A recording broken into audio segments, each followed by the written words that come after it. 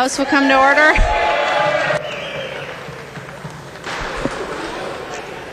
Representative Murphy. Thank you, Madam Speaker and members. I'd like to move that the House uh, may not, me- excuse me. Hold on a moment. I'm a little rusty. I want to meet past midnight. How about that? So, Madam Speaker, I move that uh, we uh, waive Rule 1.50 so that the House is able to meet past midnight. Representative Murphy moves a waiver of Rule 1.5-ish, 50. 1.50. Representative Sanders. Thank you, Madam Speaker. Would the Majority Leader yield for a question? She will. Representative Sanders. Thank you, Madam Speaker. Uh, Majority Leader Murphy, could you explain uh, why we need to meet past midnight? What are we going to be taking up if we were to waive this rule? Representative Murphy. Thank you, Madam Speaker and Representative Sanders. Uh, there are conference committee reports to take up as well as the pensions bill, as well as other work of the people. And uh, so I'd ask for your support. Representative Sanders. Thank you, Madam Speaker. Uh, would the Majority Leader yield for another question? She will. Representative Sanders. Thank you, Madam Speaker. Uh, Majority Leader, we are under the, uh, I guess, uh, assumption or thinking that uh, perhaps we'd come back tonight, uh, maybe a few hours ago, uh, take up the bonding bill. Uh, are we still looking like we're going to be taking that up uh, this evening? Could you give us a little guidance on where we're at with that? Representative Murphy. Thank you, Madam Speaker and Representative Sanders. It's my hope that we're taking up that bonding bill yet tonight or uh, very early tomorrow morning. Representative Murphy moves that we waive Rule 1.50. All those in favor of the motion, please say aye. aye. Those opposed, please say no. no. The motion prevails. As a division? Conference Committee reports on House files. Conference Committee report on House files. Is the Murphy M motion. Conference Committee report on House File 1951, an act relating to retirement. The report's addressed to the Honorable Paul Thissen, Speaker of the House, the Honorable Sandra L. Pappas, President of the Senate. We, the undersigned conferees for House File 1951, report that we've agreed upon the items in dispute and recommend as follows. The report signed by all five conferees on the part of the House and four or five conferees on the part of the Senate. Murphy M. moves that the report of the committee on, uh, Conference Committee on House File 1951 be adopted and that the bill be repassed as amended by conference. I recognize the author, Representative Murphy, to explain the report. Thank you, Madam Speaker. Past omnibus pension bills have been very important in assuring our pension funds long-term sustainability. Reforms in the 2010 resulted in $6 billion of savings. Minnesota was one of the first states to make major reforms after the 2008-2009 financial crisis. Public safety plan reforms in 2013 resulted in one half billion more dollars in savings. This 2014 omnibus pension bill builds on the public pension reforms of the past four years, helping to continue improving stability and sustainability of Minnesota's public pension plans. This bill was crafted in the spirit of good financial stewardship and accountability to stakeholders, current and future public retirees, local government, and school district employers and taxpayers. Some of the most significant reforms in this year's bill includes raising employee and employer contribution rates for PERA and MSRS. And the PERA changes were made with the intent that they will help put these plans on the path to achieve 100% funding. merging the Duluth Teachers Retirement Fund Association into the statewide Teachers Retirement Association, which follows past practice and precedent in protecting members of the merging plan while holding TRA contributing members and school districts harmless. The teacher fund consolidation continues the long-time trend of consolidating standalone funds to stabilize them and make the big fund more sustainable. Extending aid to the St. Paul Teachers Retirement Fund Association and fixing an amortization date to help the plan achieve full funding. This bill takes a cautious, conservative approach to retiree cost of living increases, spelling out the process by which cost of living adjustments are triggered when the three statewide plans reach 90% funding.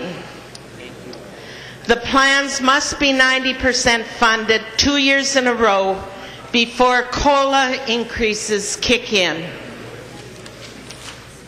We are clarifying eligibility requirements for the Public Employees Retirement Association and for the Correction Plan membership in the Minnesota State Retirement System. We are fixing the statutory joint and survivor optional annuity discount rate for all the statewide plans, which will reduce system costs and administration. The three statewide pension funds' financial status has improved significantly. The MSR general plan is 88% funded on a market value basis. PERA general is 78% funded and TRA is 77% funded. We are cautiously optimistic that the current market conditions will result in further improvements in the pension system's funding status. In the conference committee, there were five substantial differences between the House and the Senate, and they were quickly resolved. Well, several of them were quickly resolved. In the segment that Representative Dis, um, O'Driscoll brought to us, um, for the annual min- minimal minimum salary threshold for public employees retirement association membership we changed the term school district to school year employees the second difference related to the amount of money that was going to be invested for the merger of the Duluth Teachers Retirement Fund into TRA. That number was 143-77000. The House version had a million dollars more. But the compromise was the Senate number which was 14031,000 plus the aid that carried over, which was the $346,000. The third difference was a matter of four dates that were necessary to accept the House position because the House position was the one that was adopted for the merger. And the four dates of when the consolidation would begin and end are start in um, fiscal year 2015 and will be completed in 2016. The fourth difference was the Senate position, we accepted the Senate position on the St. Paul aid, the aid that would be given to the St. Paul uh, Retirement Association would start in fis- fiscal year 2015. And the um, fifth difference was a uh, compromise. It was the House, we took the House position, the House language, which provided for the estimation of the period for the use of a post-retirement adjustment rate without specifics. But the plan directors are going to work with the Retirement Association, or the, uh, the legislative commission administrators and work out more specific details of what should be contained in the um, report on the post-retirement changes. Those are the substantial changes. But our section three, we adopted all all the similar positions in the articles 1 through 13 and all of Article 14 except Section 3. Discussion to the motion to adopt the conference committee report. The member from Olmsted, Representative Benson. Thank you, Madam Speaker, and, and uh, will um, Chairman Murphy uh, yield to a question? She will. Representative Benson. Uh, thank you, Madam Chair and uh, Chairman Murphy. Uh, I'm, I'm, wondering, we had quite a debate on, on, one topic that I noticed there was a significant change uh, out of conference committee, and that is that has to do with the commissioner. Uh, we spent quite a bit of time talking about the merits of doing that, and I know there was a lot of arguments made on your side of the aisle when we tried to make sure that it wasn't included. I'm wondering what additional wisdom was brought to bear in the conference committee to change the bill to exclude uh, someone, quote, who was paying the full ride or the full boat to be uh, vested completely into the system. Representative Murphy. Madam Speaker, Representative Benson, the Commissioner asked to be removed from consideration very graciously. Representative Benson. Well, thank you, uh, Madam Chair and, and uh, Chairman Murphy. I, I, find it really pretty hard to believe since I sat through a couple of those commission hearings where he provided testimony on how much greater benefit he would uh, reap from being made whole and invest, completely vested in the system that he would just graciously come to the table and ask that he be removed from that. Uh, did he give any explanation? Would uh, Chairman Murphy yield for another question? She will yield. Representative Benson. So to my question. Representative Murphy. Madam Speaker, Representative Benson, he said that he had learned so much from attending our commission meetings in the last four months that this, this is my word, he didn't use that word, but he,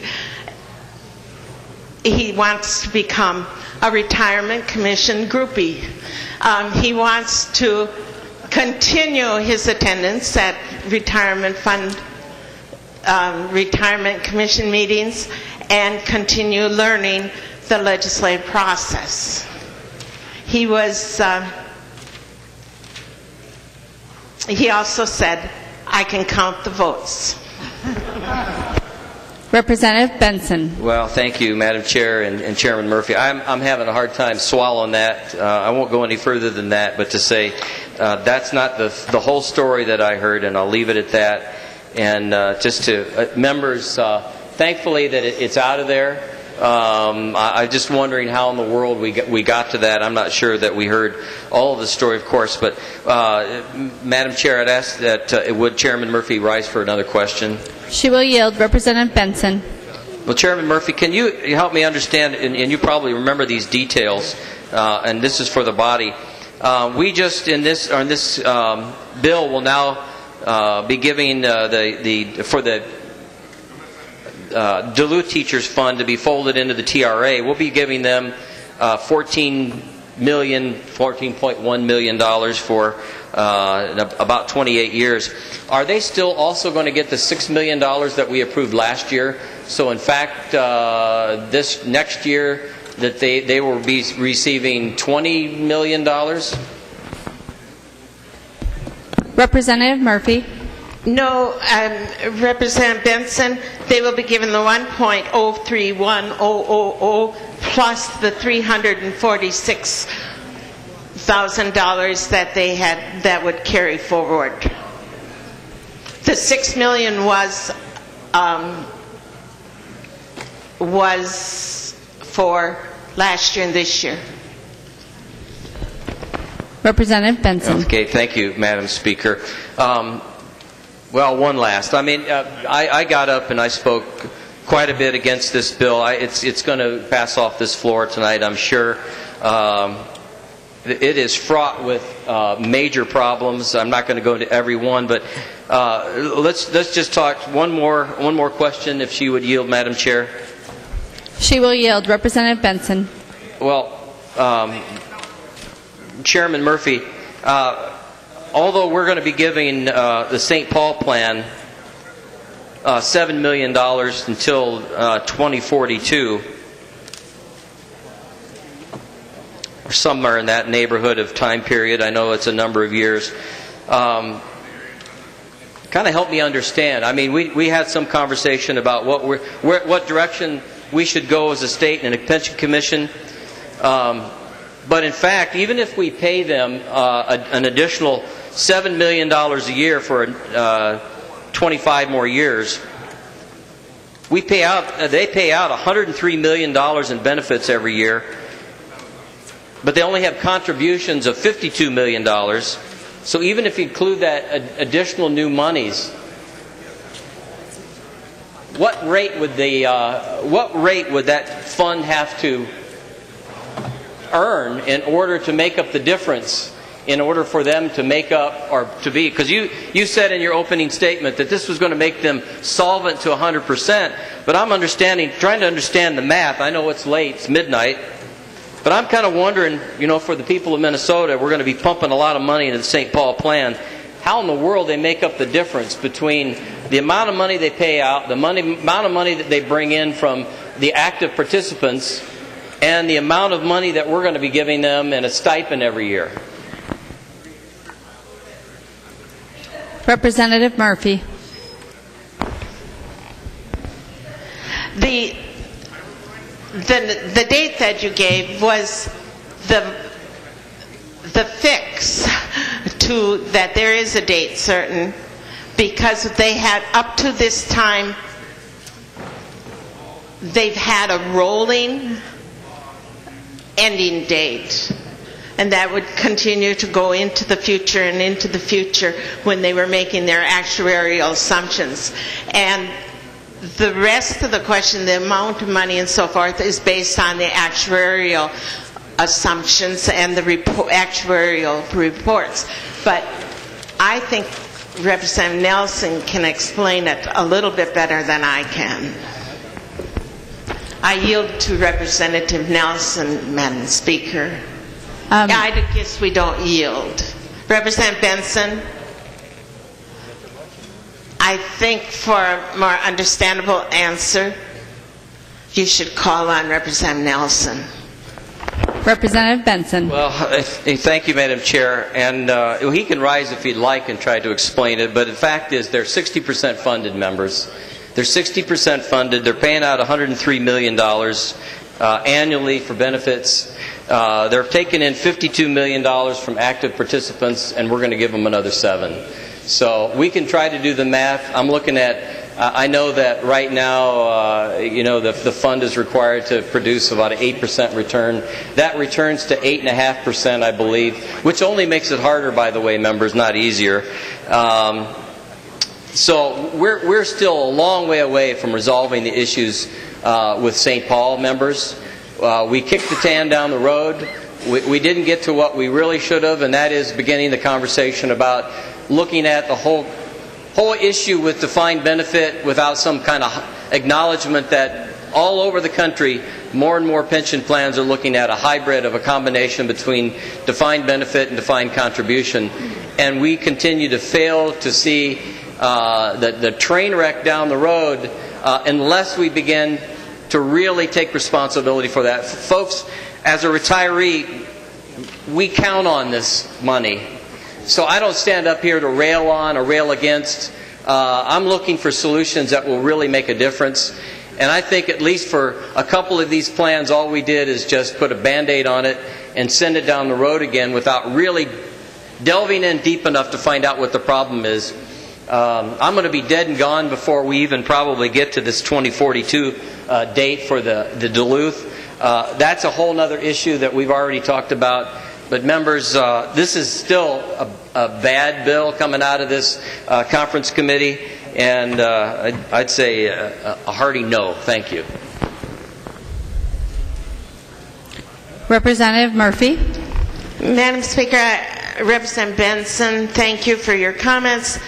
Um, I think my understanding is that St. Paul is 68% funded.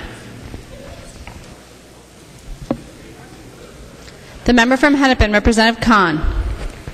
Madam Speaker, and also in further answer to Representative Benson's uh, question, question, as the person who authored the bill to allow the commissioner to change his pension benefits, uh, and as someone who uh, um, was disappointed by his withdrawal, although I fully understand the effect of counting the votes, I would like to point out that this was a very bad decision on the part of the Pension Commission.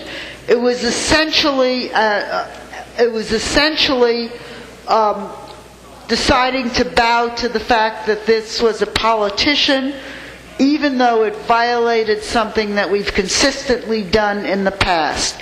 I guess I'm the only member of the Pension Commission who was on it the summer that we spent an entire summer summer under the chair of the Pension Commission at that time, Representative Richard Jefferson, setting out the principles of the Pension Commission, which have served us very well in making decision, decisions in that process and going by the position, positions, the uh, what the commissioner was asking us to do was perfectly correct. One of the most important parts of those positions is that we do not do that unless the person pays the full actuarial value.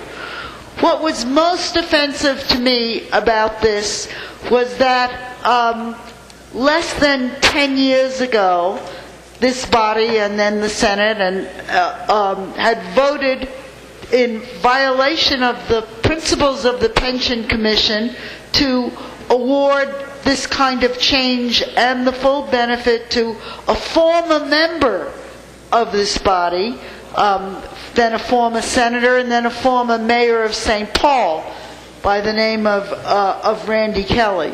The difference was is that former Mayor Kelly who claimed that his, his problem was that he checked the wrong box. He checked the wrong box and signed the wrong, the wrong document.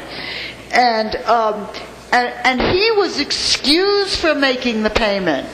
So the state plan, the, the state plan which we're all members of, lost the money that he, either he or the city of St. Paul was um, was to put in. Now, there was an amendment brought on the House floor at that time, and you know it was must have been a good amendment because the chief authors of the amendment were Kahn, Krinkie, and Emmer. And the um, amendment would have forced the mayor to pay the actuarial costs rather than get it free. And it was overwhelmingly defeated so that he was left free to go free, and that was a real abuse of the process. So it shows that a politician who somehow has found favor with the body can get special um, special treatment, while someone who someone who doesn't have a connection with the body cannot, even though in the past we had allowed the same things that Commissioner Johnson asked for. Anyone is curious, I actually do have the vote here from 2006 with the members who are here. I will note that both Representative Murphy and I did vote on the right on the right side of that. And some of the people who have made very moralistic speeches about this at any time voted to allow um, uh, former Representative Kelly to get his full benefit without paying anything for it. So I am voting for the pension bill. It's a very good bill. I am disappointed that this part was taken out because not of serious political considerations, but because of obscure political fears. The member from Wabasha, Representative Drazkowski. Thank you, Madam Speaker. Um, wondering if uh, Representative Murphy would yield. She will yield. Representative Drazkowski. Thank you, Madam Speaker. Representative Murphy, when the bill went out, it had cost of living adjustments for the pension recipients in both the St. Paul and the Duluth teachers groups. Are those still in the bill? Are we still uh, increasing the amount of money we are paying out to the pension recipients while bailing them out? Representative Murphy. The Duluth teachers are going from zero to what TRA is, yes, so that they will be with the same cost of living. The um, St. Paul, I, I think they're going to two. Down. Down? We did not change it from the way it went out. It was not a conversation at the conference committee. Representative Drazkowski. Thank you, Madam Speaker. Thank you, Representative Murphy. Um, as I suspected, members, um, that part in the in the bill did not change. So, just as a refresher, members, the taxpayers of Minnesota are bailing out the Duluth teachers and the St. Paul teachers funds uh, because these insolvent funds are failing, and uh, in addition to the taxpayers of Minnesota, many which I should remind you uh, are paying the taxes that are being used to bail out these funds are individuals throughout our state who don't have pensions themselves. Or they may be losing their health insurance with their employers. Yet, we are bailing out these pension plans, and then we're giving them a raise on top of it to their pensions. The people of Minnesota, many of whom can't don't even have pensions, even anything close to this. Many of the self-employed people have nothing like this. Many are losing their health insurance or don't have it. And we are forcing them to pay to bail out public pensions and then pay the people more. Members, do the people of Minnesota know what's going on here today? At 10 minutes after midnight. Thank you, Madam Speaker. The member from Hennepin, Representative Nelson. Thank you, Madam Speaker. And members, there's a lot of hyperbole going on here. Um, that's, these are pension plans, are part of the contract, part of the wages that are paid. The pensions are wages that are deferred and paid back, and it's an agreement that's been made with these with these members, and these are part of the part of their working conditions, and, and their salaries are going forward. And this, these these did not change coming off the floor. As was said here, the same and similars between the Senate, and the House were adopted, except for the one provision which was taken out. And yet they're beating up on the gentleman for trying to, to, to trying to, to, buy, to buy back his service credits. And that's what he was doing. He was trying to buy back his service credits.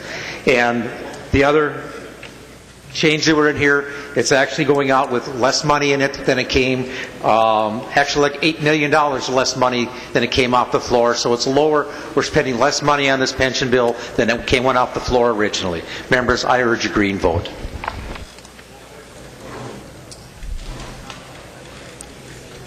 Representative Murphy. Thank you. I'd like a roll call, Madam Chair. Representative Murphy. Representative Murphy requests a roll call. Seeing 15 hands, there will be a roll call. Is there any further discussion on adoption of the report? Representative Murphy.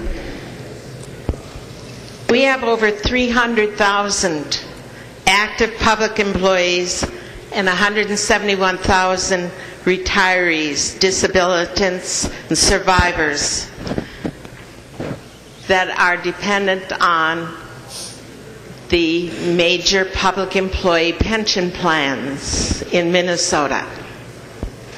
Promises have been made and this bill has to be passed to make sure that promises are kept. Public employment accounts for over 10% of the state's entire workforce. What we do in the public sector is very important. Sometimes we pass laws that weaken Minnesota pension plans. Unintended consequences. When MnSCU was formed, all the community colleges, which had been, and training colleges, the, the vocational schools, which had been part of the school districts in Minneapolis, St. Paul, and Duluth, those teachers were put into TRA. The retired teachers continued to stay in the pension plans of Duluth, St. Paul, Minneapolis. And they have lived, which is a good thing.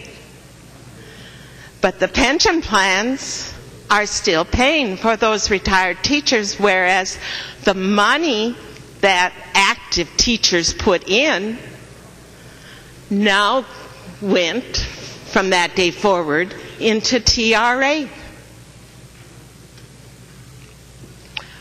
The majority of money that are from Minnesota, that go into Minnesota pension plans, are our investment returns. The Minnesota Board of Investments have the best record in the country, or one of the top records in the country of their returns, Oh, an average of over 10%. Minnesota's investments are doing very well compared to many other states.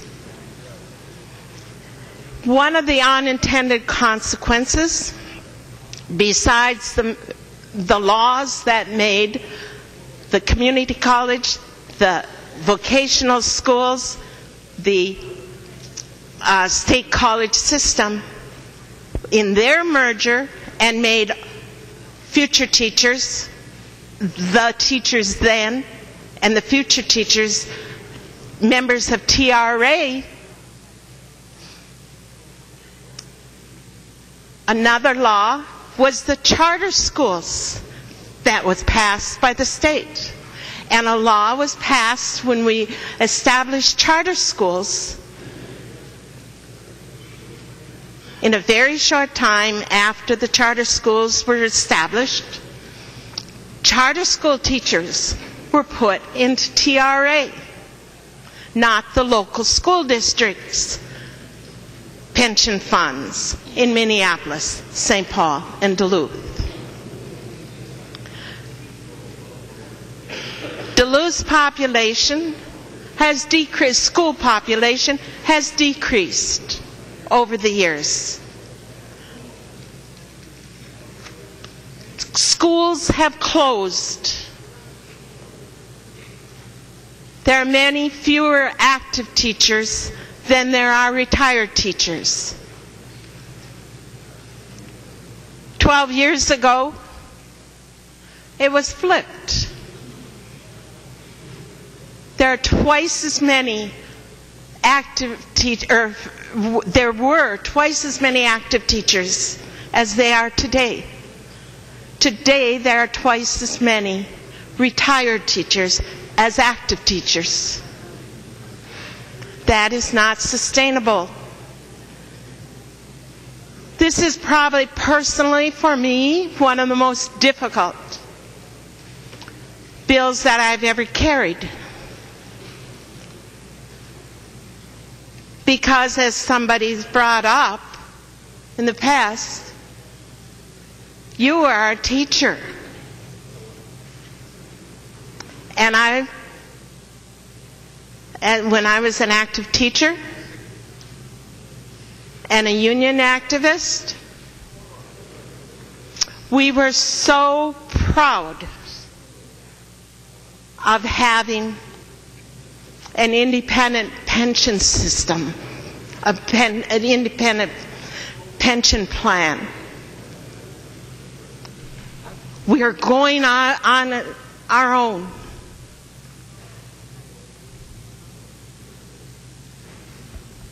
I remember when Minneapolis merged, and Speaker Thissen carried the bill for the Minneapolis teacher merger.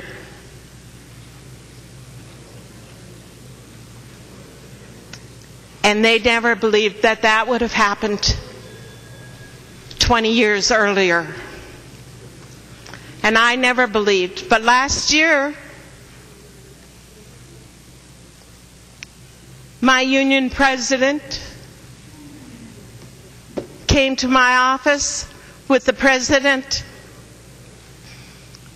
of the Duluth Teachers Retirement Fund and said, Mary, you have to help us.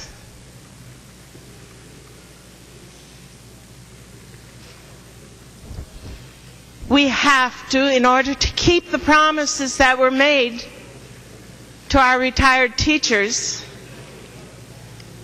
we have to merge with TRA, and we don't know how to start that process.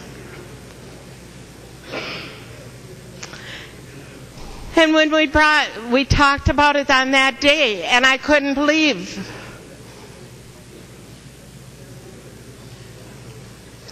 The statistics that they were showing. And we talked about what we were going to do about it. And the pension commission started talking about what they were going to do about it. And we met with the governor and said, What are we going to do about it? And the governor said, We have to have a study. What can TRA afford a merger? Can Duluth afford not having a merger? And we had the TRA and the Duluth teachers, some of the actuarial people involved for, for the pl various plans, and the St. Paul teachers. And they went to work and did an actuarial study of the costs where it's down here um, of the costs and the savings and the state aids that would be necessary and recommendations. And the study was completed and brought to the commission in January uh, and February and March. The commission talked about these things. And in April, was it April? In April, the commission voted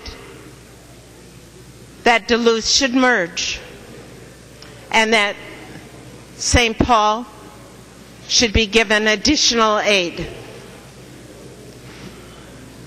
And those two articles are in this bill.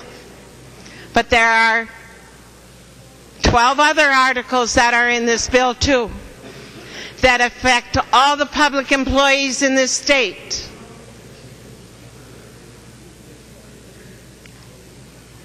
And affect all the, you're right, Representative Drazkowski, Madam Speaker, they are Madam Speaker, I'm having a hard time here. Could we? Representative Murphy.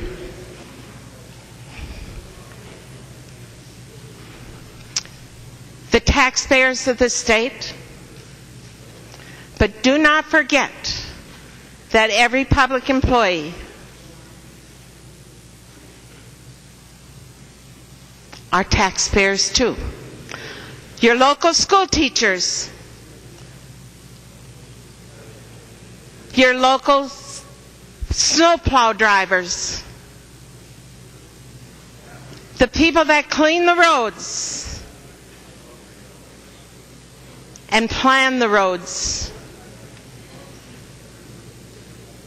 All public employees pay Minnesota state property taxes and all the other taxes. And they serve all of us in whatever capacity that they are hired for and they are good people and they are leaders in the community and they are little league coaches and they are your next door neighbors and probably a relative too. Promises have been made and promises should be kept. And if you vote green, they will say, Thank you, and how can I continue to serve you when you need their help? The clerk will take the roll on the motion to adopt.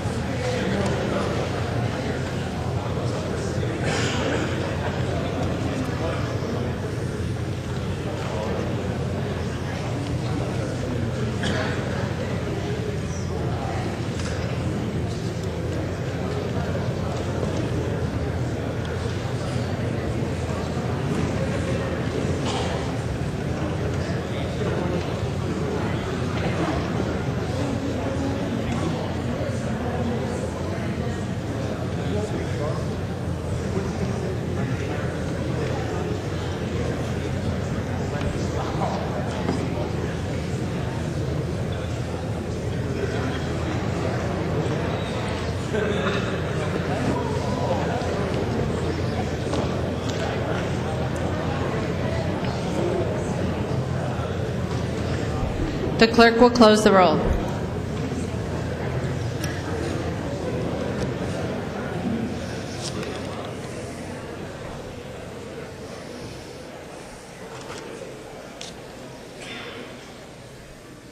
There being 79 ayes and 52 nays, the clerk will give the bill its third reading as amended by conference. The motion prevails.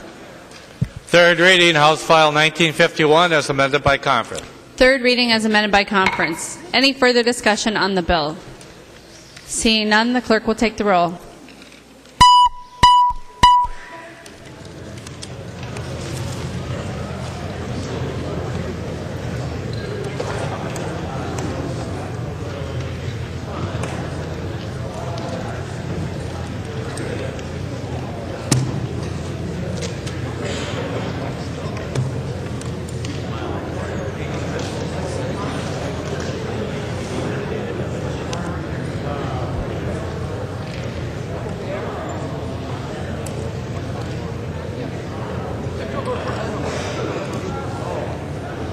The clerk will close the roll.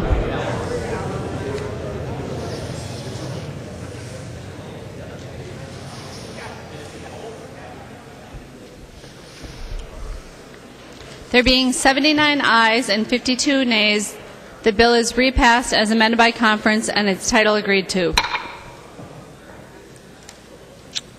Conference Committee reports on House files. Conference Committee report, this is a Laine motion. Conference Committee report on House File 2531, an act relating to campaign finance. The report's addressed to the Honorable Paul Thissen, Speaker of the House, the Honorable Sandra L. Pappas, President of the Senate. We, the undersigned conferees for House File 2531, report that we've agreed upon the items in dispute and recommend as follows. The report is signed by by all uh, by two of the three conferees on the part of the House and three of the, of the conferees on the part of the Senate. Laine moves that the report of the Conference Committee on House File 2531 be adopted, that the bill be repassed as amended by conference. I recognize the author, Representative Laine, to explain the report. Thank you, Madam Speaker. Excuse me. This is the, it started off as a simple campaign finance board technical bill, passed the House 125 to 0. Then we went to conference committee and the Senate added a piece to uh, set forth more detailed processes for the board to follow in conducting an investigation. There will now be three levels. They'll first have to do a prima facie determination at face value. Is this a frivolous or is this a real violation? And then they would move to uh, findings and cl- conclusions as to whether there's probable cause exists for uh, a real uh, investigation. And at that point, there'll be a hearing of both parties, the complaint uh, party and the uh, subject of the investigation. And if that moves on and it warrants an investigation, then they move into the full force uh, investigation. There's an opportunity for the subject of the complaint to answer allegations and appear before the board before a finding is concluded. So this is a, uh, a very detailed process that is written into the statute for the board to follow. Because they added something new, we then added two um, provisions from the uh, House File 1961 uh, from Representative Halverson, two public integrity provisions. We have required the board now to audit or investigate compliance so that we really know um, on a random basis whether this is actually working. And uh, all the data relating to an audit, for instance, will be confidential. And the other piece has to do with adding another part to the statement of economic interest. If you are self-employed, your applicable business or professional activity would be reported the way it's reported on the IRS Schedule C, the basic category code. It's very broad. If you've seen those uh, codes, it's uh, construction of buildings or manufacturing or information or real estate and rental and licensing or leasing or wholesale trade very broad categories, but that would be what would be reported if you're self-employed. Um, now, the let's see the some other pieces were added related to board function, but I need to explain what the board, what the Senate also required to go along with their uh, processes for uh, moving through, through an investigation. They added expedited rulemaking. And I understand that that gives um, some sore spot to some people. So I want to just say a little bit about that. They insisted on this for their more detailed processes the board needs to follow. And uh, what we created was a bit of a hybrid between full rulemaking and expedited. First of all, it's laid out in a very prescriptive way what the board has to do. This is substantially more details in statute as to what the board has to do than is usual for this process. And second, what the board is limited to is five things. They have five particular things like processes for initiating and overseeing an investigation and the party's rights and opportunities to be heard, things like this. Five specific things that they need to do, no more. And third, Senator Newman was a Republican on the conference committee, and he dislikes expedited rulemaking so much so he added all the notification provisions from regular rulemaking. The board must keep us informed along the way, just as they do in regular rulemaking. So, Um, anywhere along the way, we can uh, do legislation to stop it or overturn it because we are amply notified. Oversight is ours. Um, so it's very with this very clearly laid out process, and um, with the same notification provisions as regular rulemaking, I call this a hybrid expedited process.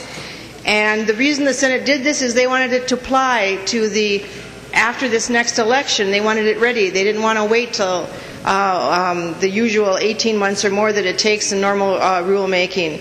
This will then form a backbone to having a clear investigative process so that anyone being investigated has full awareness of what the process is and has the proper opportunities to be heard before the board.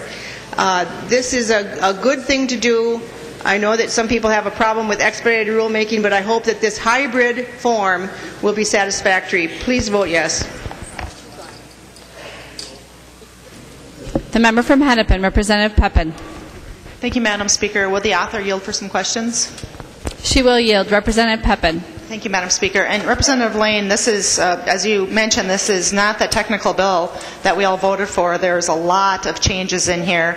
Uh, I'm not sure that they all went to the, the committees that they should have gone to. Um, I didn't get a chance to go through the whole uh, the whole conference committee report, but I did have a few specific questions. If you've got it in front of you. This, um, so the, you talked about the prima facie determination. Why is that here now? What, what, what does it mean? Representative Laine.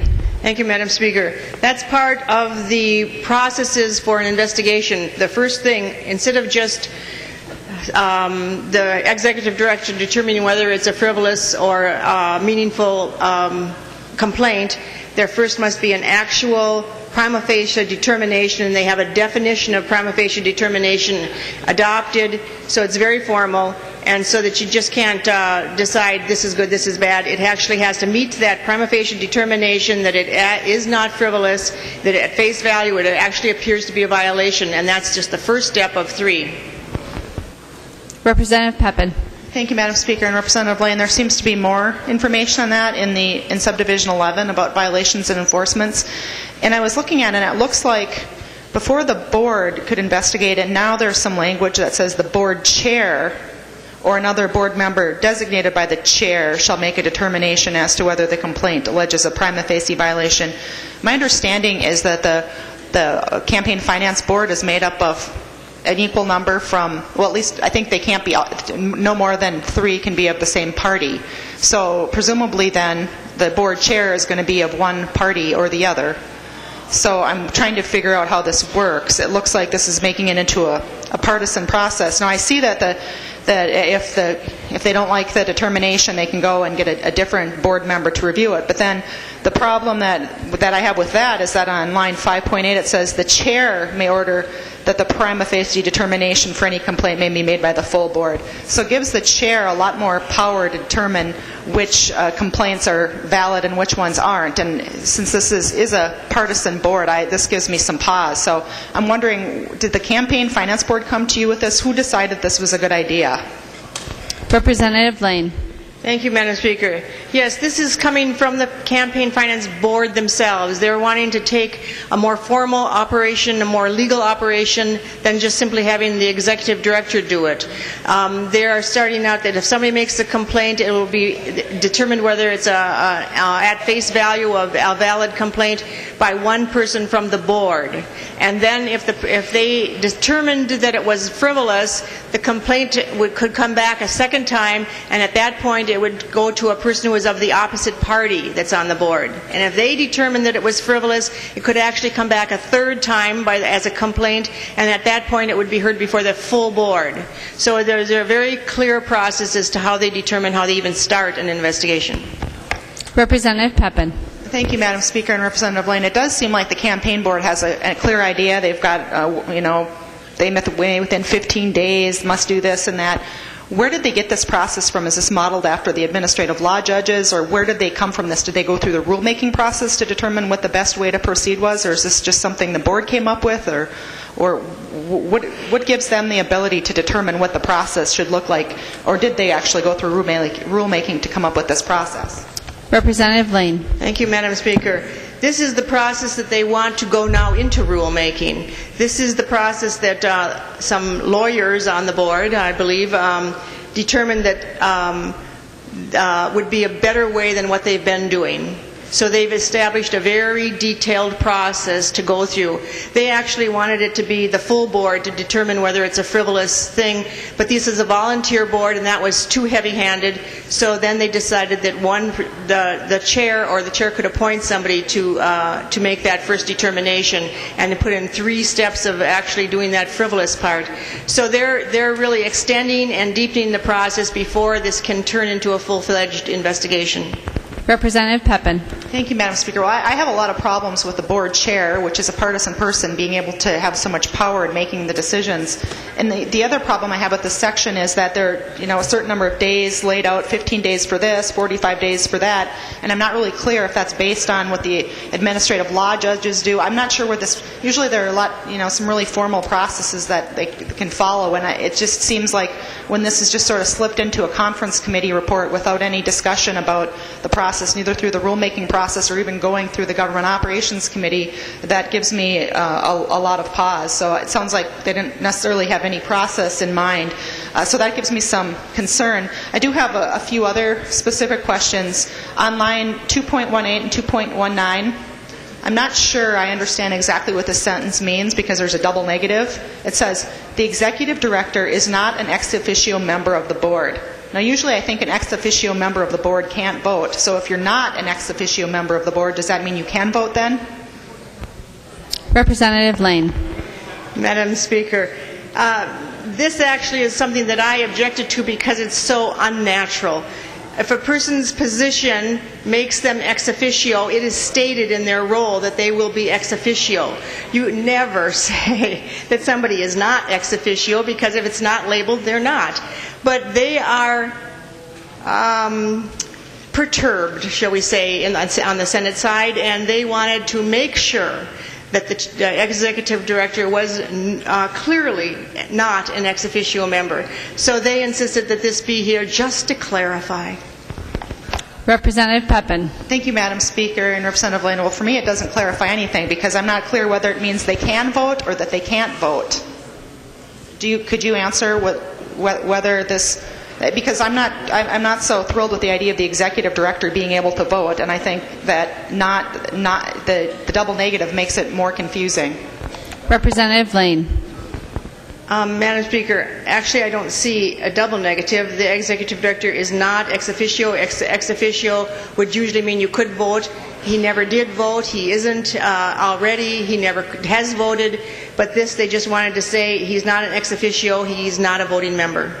Representative Peppin.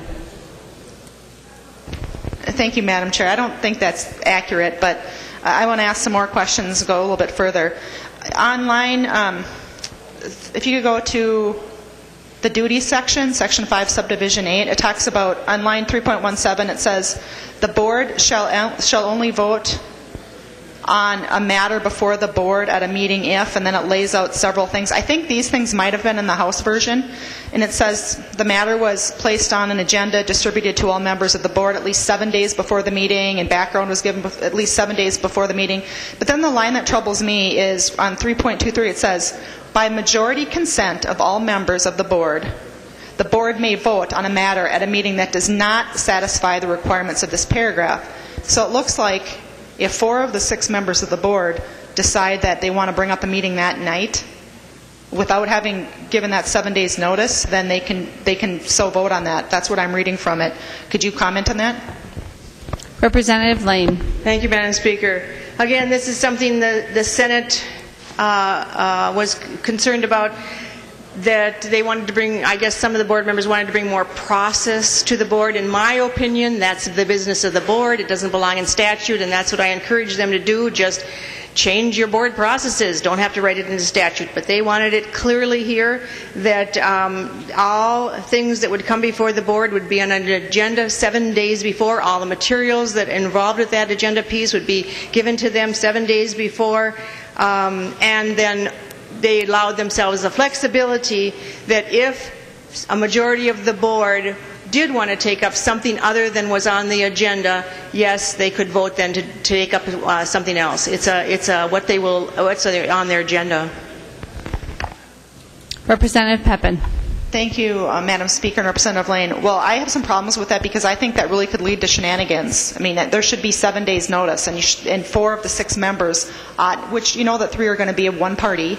So if you have three of one party and then another person that has uh, an interest in that issue, you can shut the other two members out without giving them any notice whatsoever, is what it reads to me. So I have some concerns with that section. And then, of course, the expedited rulemaking section that always gives me pause for concern because that was not heard in government operations at all. And uh, I'm, uh, I'm curious why, if the campaign finance board wanted this, why we didn't hear this in the government operations committee. They could come before us and explain to us why expedited rulemaking is necessary. And um, maybe they didn't mention this too, but uh, just a little bit more of the process. What what is the process that they? You said that this is a hybrid process, so are they not following a rulemaking process right now, or what? What is what exactly is the change here? Representative Laine. Thank you, Madam Speaker. Um, I do need to say that this was a request. This did go through the entire Senate process and was moved on the Senate floor. So it didn't wasn't on our side because it was an interest of the Senate, and they brought this on their campaign on their campaign finance technical bill. So that went through the entire process in the Senate. Um, your question had to relate to what to the, the expedited process is, how it's a hybrid. Well, because it's a very, very clear and detailed, it isn't make some rules because the campaign finance board does have the ability to do, do rulemaking within their own uh, purview. However, this is a, re, uh, a, a, requirement by this statute, this uh, bill, to do specific rulemaking around five specific issues, and uh, it's very clearly laid out, as you can read in the bill, Uh, how, what they want to do. They want to have this prima facie, probable cause, investigation, all laid out. The days, the, the hours, the, I mean, the days that are allowed are all laid out in statute already. And then the board has a very limited purview of what to do with that. But they need to lay out the rules of how they will have their staff carry out the processes that are laid out right here in the bill. So it's a very narrow thing that they have to do in rulemaking, and they also need to follow all the usual notification processes of regular rulemaking, so that's why I call it a hybrid. Representative Peppin. Thank you, Madam Speaker. And uh, Representative Laine, and I'm not, I, I'm not holding you accountable for all the things that the, the Senate does. Nobody could do that here. But I do have some concerns with that rulemaking section because it's not just a simple little technical thing. It's, it is quite specific, but it's not, a, it's not a section that we've had any input as a legislature, and I think all of us have a real interest in doing that. They're setting forth the process. If you look at it, uh, members, I encourage you to look at, at that expedited rulemaking section starting on uh, the requirement starting in line 4.7 that they'll be able to go through through the process for the board initiating and overseeing an investigation, when summary proceedings may be available, dedication of staff resources. They're, they're going to do that for all of this stuff, and we've never had the opportunity to vet this in committee um, at all. And it, it, since this was supposed to be a technical bill, this is really frustrating that we would take this information uh, from the Senate. Um, there's some, also some data privacy things in here. Um, there's some information on there, there's a section 12 that I did have a question for you, and I actually didn't even finish reading the whole conference committee report yet. But on section 12, subdivision 5, on line 8.32 and 8.33, it says the board may send notice by certified mail to an individual or association that has not timely responded to the board's written request for reconciliation information, and then it talks about some fines, a filing fee of up to 25 per day. I guess that means if the if your report isn't matching, if you got a check from a lobbyist and it's not matching up to the lobbyist report, then there would be a $25 fine per day up to a maximum fine of 1000 I think it's good that they're looking at that and making sure that they match up. But my problem is that the board may send notice by certified mail. Well, certified mail is great, but we all go on vacation. So what happens if you go on vacation for three weeks and your only notice is by certified mail? Um, if you have a if you have if you have somebody staying there, maybe they'll get the the the letter. But why couldn't it be email or something like that? Because it seems like if there was email, then you'd have a you know you could do certified mail and email or some other certification process. I'm just worried that people aren't going to get the notice, and then all of a sudden they've got a thousand dollar fine that they didn't even realize that. I know one time I had a a check that I, I got a too big of a check and I had to send back part of the, the check, and the it was a little kind of a technical issue. And um, it just seems like if you're on vacation or something, it can be uh, problematic that you might not get you, you have your mail held or something, and you might not get it. Could you maybe talk about the wisdom of that? Representative Laine. Thank you, Madam Speaker. Well, actually, this part that you're referring to in uh, Section 12, Subdivision 5, was in the original bill that went off the House House floor. Um, this is because we required the Campaign Finance Board to do this reconciliation that you're talking about, and uh, they need to have a, a, a fine that makes people sit up and take notice. At the same time, um, another part that we added into this bill was for just exactly what you talked about. If you're out of town and you didn't get it and, and, and the fine is accumulating, you can actually have it in here that you can actually have the fees waived if you can show just cause why you couldn't done it, uh, couldn't have made it. So we put that in there very, very clearly that people can know that they can just explain their situation and as long as they continue to cooperate, cooperate the fees are waived. Representative Peppin. Thank you, Madam Speaker and Representative Laine. I don't see that in here. It's I'll take your word for it. My, um, I still think that's a little silly that we wouldn't have just added that section in. And um, I do have uh, one other. I think my final question for you is: I know that when um, when we heard this bill before, we had several amendments, and uh, one of them was a, a limit on outstate and one on foreign travel using non-campaign expenses. We put some limits into travel, and uh, we both of those um, amendments went on. And I, my understanding is they got taken out in the conference committee. Normally, of course, it's always the conferee's job to make sure you fight for the House position. And I'm just wondering if you could just comment on why those provisions were taken out in conference committee. Representative Laine. Thank you, Madam Speaker. Actually, it was only one that made it in. It was only the foreign travel that made it in, and that one just fell off the fell off the wagon. It was not um, even. It was the last thing we did, and it was just left there. We did not add it in. Representative Peppin. Thank you, Madam Speaker and Representative Laine. Well, members, this left being a technical bill. We all voted for it. I think I've shown many places where there's a lot of a lot of changes. They're putting processes in place that haven't been vetted. Uh, Maybe they have in the Senate, but not in the House.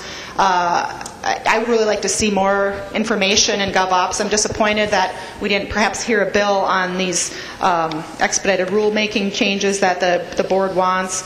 Got some real concerns about the, the, the board chair having all this power. I've got um, other concerns in here that I've highlighted, and for these reasons, um, Madam Chair, I would move that we refuse to concur and send this bill back to the conference committee, and I would like a roll call. Representative Peppin moves that we refuse to concur and requests a roll call. Seeing 15 hands, there will be a roll call. Any discussion?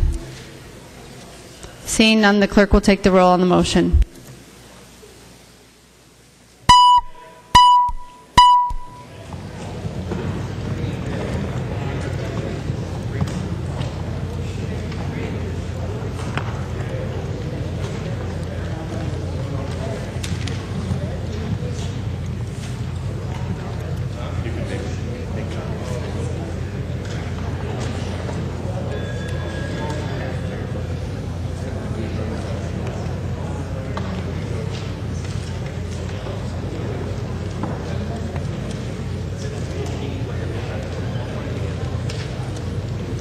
Clerk will close the roll.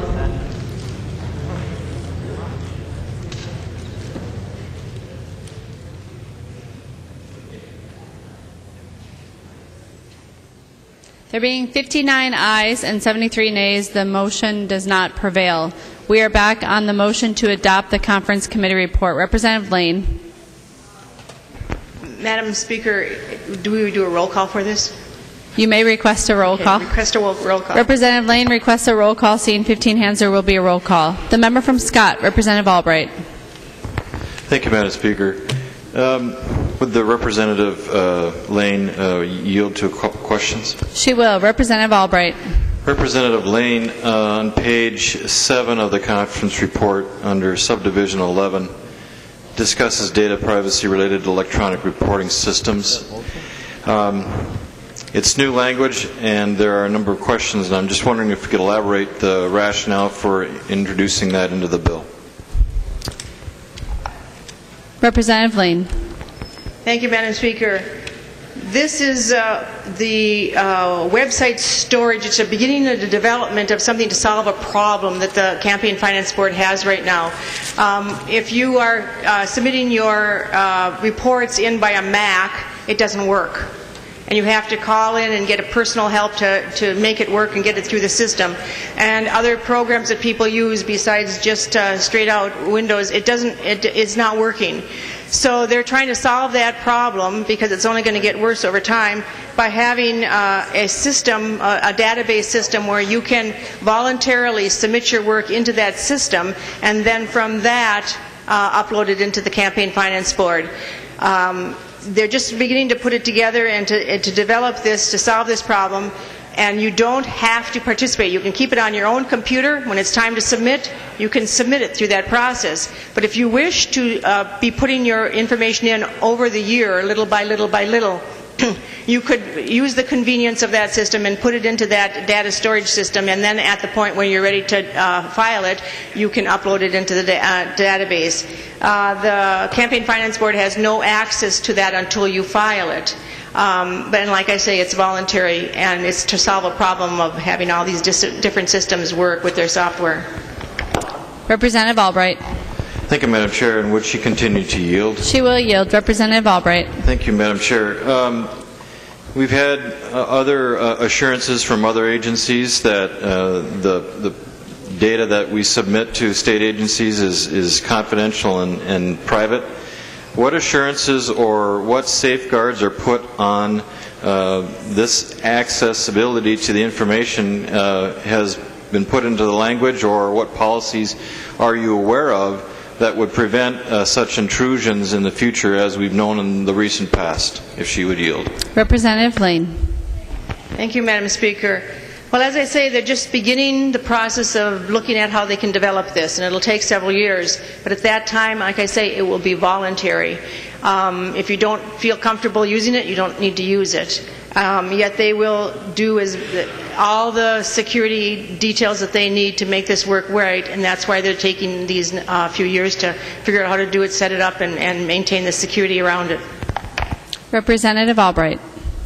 Thank you, Madam Chair. Um, would Representative Laine continue to yield? She will. Representative Albright. Thank you, Madam Chair. Representative Laine, on page, um, I, I, guess it would be section 16, uh, subdivision 10, it, talks about board audits and the data classification. Once uh, the audit is uh, completed, what's the uh, protocol for disposition of the audit itself? Is that maintained? Is it delivered to someone? Uh, how long is it maintained after the disposition of the claim, if she would yield? Representative Laine. Thank you, Madam Speaker. Were you speaking to like 11.3? Representative Albright. Madam Speaker, yes, I am. Representative Laine.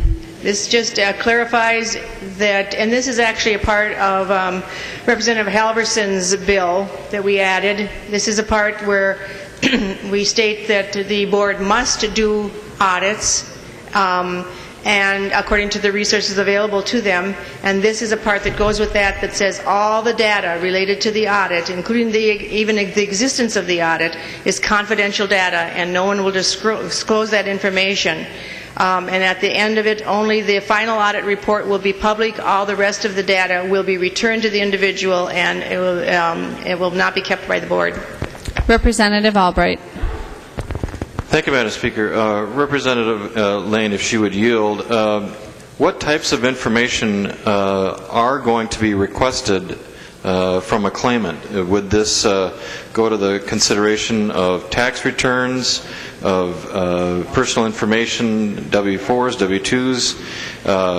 what, what's the depth to which the information is going to be requested of the person in, involved? Representative Laine.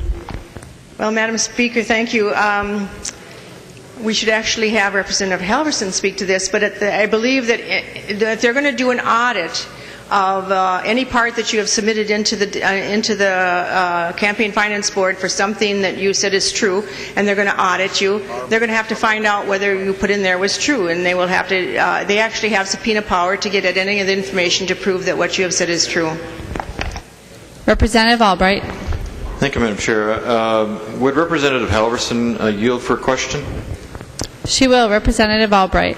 Representative Halverson, based upon what uh, Representative Laine just uh, uh, answered, I'm wondering if you could either confirm, elaborate, or uh, expand on uh, what would be necessary and requested of a claimant to this system. Representative Halverson.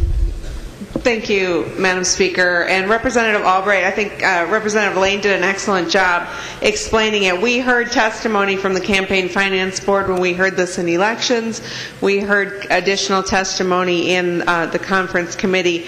The um, interest of the board in the audits is not to um, do extensive um, financial auditing or um, auditing of, of records beyond what is needed in order to um, prove what um, is said in a particular report is true. And these won't be triggered um, randomly, they'll be triggered by a particular. Um, uh, concern with regard to reporting, and uh, it's very clear that what the Campaign Finance Board is requesting with regard to any of our reporting um, is very clear, and so any backup documents that they would need would only go deep enough in order to uh, prove uh, what question they were trying to answer, and, and, they were very clear about that. So they don't need detailed um, financial records. Um, they need, um, and and and uh, they, they, were very specific in that they don't need detailed, uh, for instance, with uh, regard to personal assets, dollar amounts. It's with regard to whether or not you hold a particular asset that they need proof of.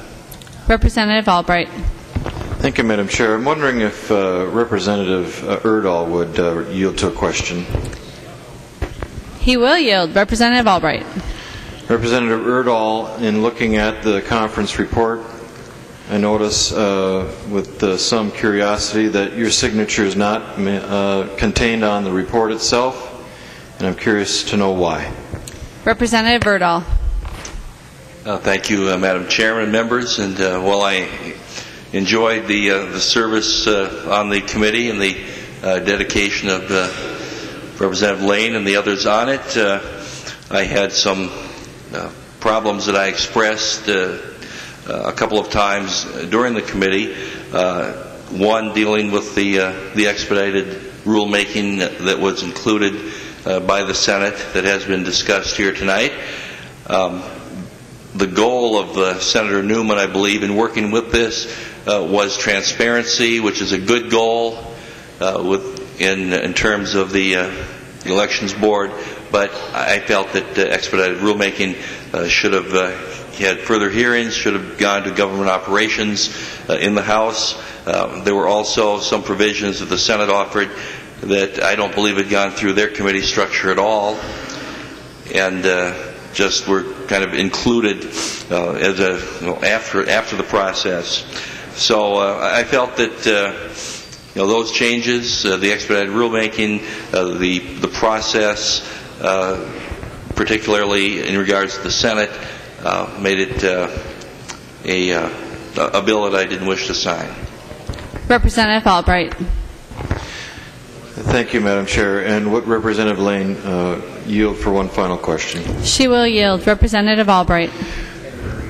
Representative Laine, uh, the expedited uh, rulemaking authority, uh, I know that uh, Representative uh, Peppin also asked you this question, but I'll ask you again. It just it would appear that the House language was, was much stronger. We adopted the Senate language in conference committee. I'm just very curious as to the rationale for why that occurred and uh, why the necessary need for the expedited rulemaking. Representative Laine. Thank you, Madam Speaker. Our uh, House language didn't have anything about this uh, investigation uh, clarification as to how we, the Finance Board will do their audits and investigations, and so therefore we didn't have anything about rulemaking in our side. The Senate was very clear that they needed that, so we brought in uh, Representative Halverson's bill and laid that on the table in, uh, to get something back. Um, s- and that had gone through all our processes, but it hadn't been uh, gone through the House, uh, the Senate side. So it was uh, get something for what they insisted on, and um, we did that. Um, and I, I think I've explained that this uh, expedited rulemaking is actually a hybrid because uh, Senator Newman was very, he does not like expedited rulemaking, and he needed to at least have it as close as he could make it um, by having the notification process in there all the way through. So the legislature is constantly notified of everything they do along the way and can constantly step in and, and, and change something. Um, so that's why I call it a hybrid, because it is in between the two processes. Um, They want it to be uh, effective in time for the end, uh, after the math of this next election cycle, so that people who are investigated will have a very clear process, will know what's going to happen, will be able to anticipate how long it will take, and uh, uh, when they will be able to have their hearing, and and be, it'd be very clear for the person who is being investigated. They were very interested in having that taken care of. The member from Stearns, Representative O'Driscoll. Thank you, Madam Chair. Would the author yield to a question, please? She will yield. Representative O'Driscoll. Representative Laine, a um, couple things for you. First of all, I was disappointed to hear that the uh, term that you used, that the foreign travel fell off the table because that was a pretty big provision for me to be able to get on the, uh, the technical bill. So I, I, think I'm going to be okay on that one, but I am disappointed that we didn't defend the House language on that.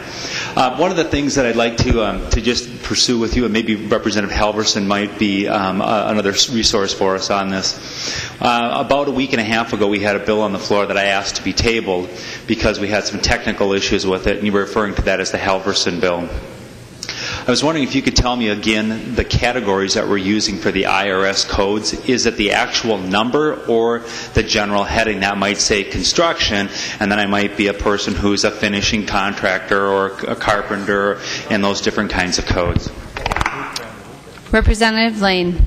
Thank you, Madam Speaker. It is just the large category, manufacturing, not the codes that come under it. Under it. Just the, uh, oh, about a dozen here, uh, major headings.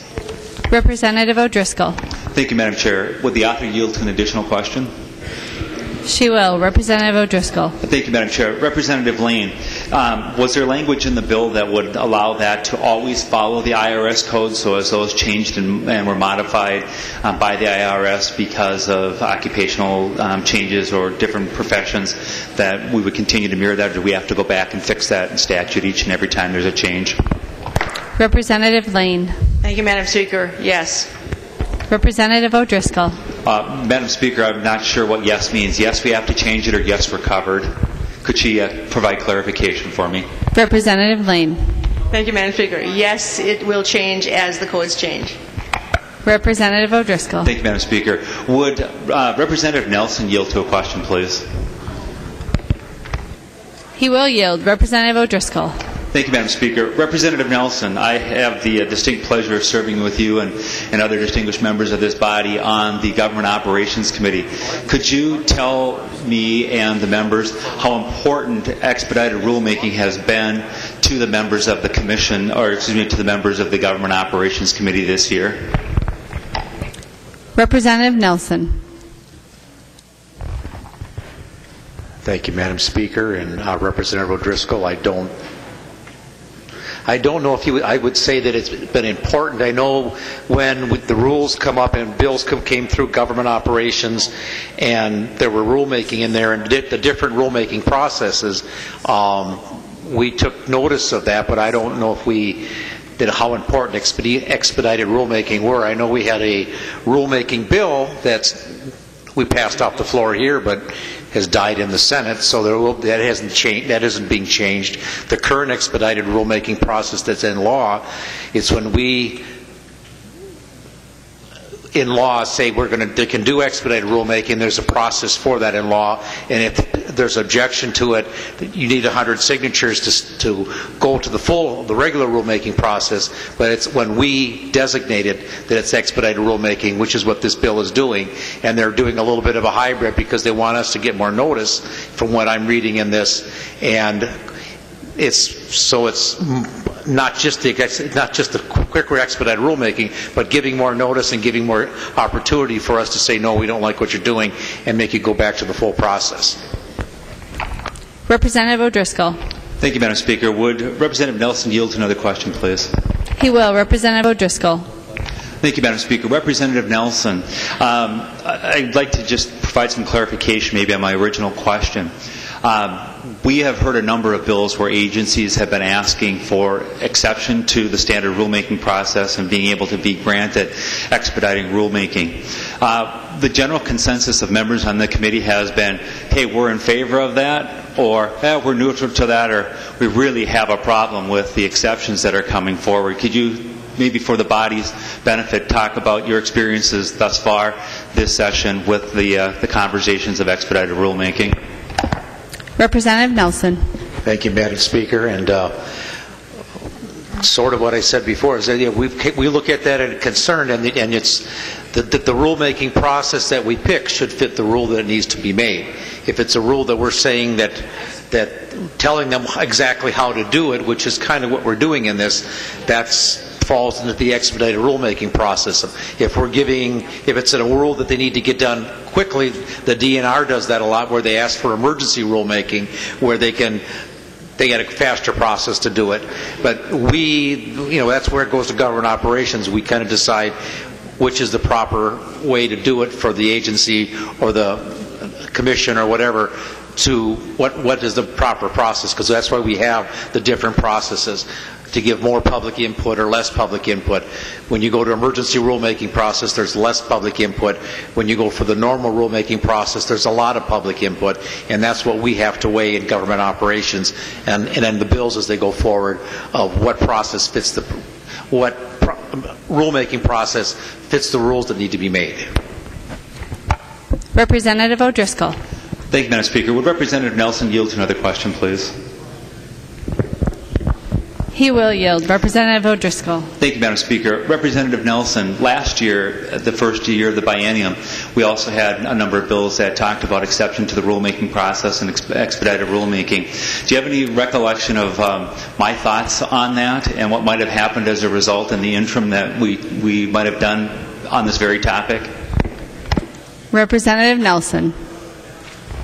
Thank you, Madam Speaker. And, and during the interim, we did have an interim hearing on rulemaking because there was always a lot of questions on it, and we had a lot of new members in the committee that hadn't been there before and didn't understand the rulemaking process and, and needed more insight into that, including myself. And so we did have a interim hearing where we had the come and explain how the rulemaking works and why it works the way it does and the different processes so that all the members could get a better understanding of it. Representative O'Driscoll. Thank you, Madam Speaker. Would Representative Nelson yield to one more question, please? He will. Representative O'Driscoll. One Thank more. Ma- Thank you, Madam Speaker. Well, uh, Representative Nelson, from your experience in government operations, being in both the majority and the minority, you know that that rulemaking is a very important procedure. Does it concern you in any way at all that the House has not had a chance to hear anything about elections rulemaking when the job of the Campaign Finance Board is to do audits and investigations and will go ahead and promulgate rules in an expedited fashion without the House of Representatives government operations weighing in on that? Representative Nelson. Thank you, Madam Speaker and members, Representative O'Driscoll. Um, if you're saying what I'd rather this this this pro- this part of the bill have come through us, probably yes. But as in all conference committee reports, when there are differences between the House and the Senate, and we've all, I think most of us served on a conference committee. Sometimes the Senate insists on language that they have goes in, and sometimes we get our, our way and our language goes in, and sometimes stuff that we pass doesn't go in. That's the nature of a conference committee and the compromises that go in during that. And um, so this is the typical process of how, how it goes through the rulemaking process. And sometimes things get in conference committee reports that we don't like, and sometimes we get stuff in there that the Senate doesn't like, and that's just the process. Representative O'Driscoll. Well, thank you, Madam Speaker. And I, I don't want to be uh, disingenuous when I said I had one more question, but he said something that led to another thought. Representative Nelson and Chair Nelson, you said that you, if you had your druthers, and that's my words, not yours, you'd like to have seen that come before the uh, Government Operations Committee. Question for you: Do you ever recall Mr. Goldsmith, the executive director of the Campaign Finance Board, being before us or ever having a conversation with the Government Operations Committee as to whether or not we needed expedited rulemaking for the uh, Campaign Finance Board? Are you asking him to yield? Yes, Madam Speaker. Apparently he will. Representative Nelson. Thank you, Madam Speaker. And um, I do remember Mr. Goldsmith being before us, but at this portion of the bill, this this rulemaking process was not a part of a bill that he was he was discussing at the time, so um, it never came up that I remember. Um, I'm getting a little foggy. It's getting late. The, it's early in the morning, and I'm getting a little foggy, but I don't remember it. But like I said, this is the normal committee conference committee process. Things get in that comes from the Senate. Things get in that come from the House. We we come with a compromise bill, and we all we always don't like it, but that's the nature of a conference committee. Representative O'Driscoll. Thank you, Madam Speaker. I was wondering if um, Representative Simon, the chair of the Elections Committee, could yield to a question. He doesn't appear to be on the floor. Oh, look at there he is. Representative Simon, will you yield? He will yield. Representative O'Driscoll.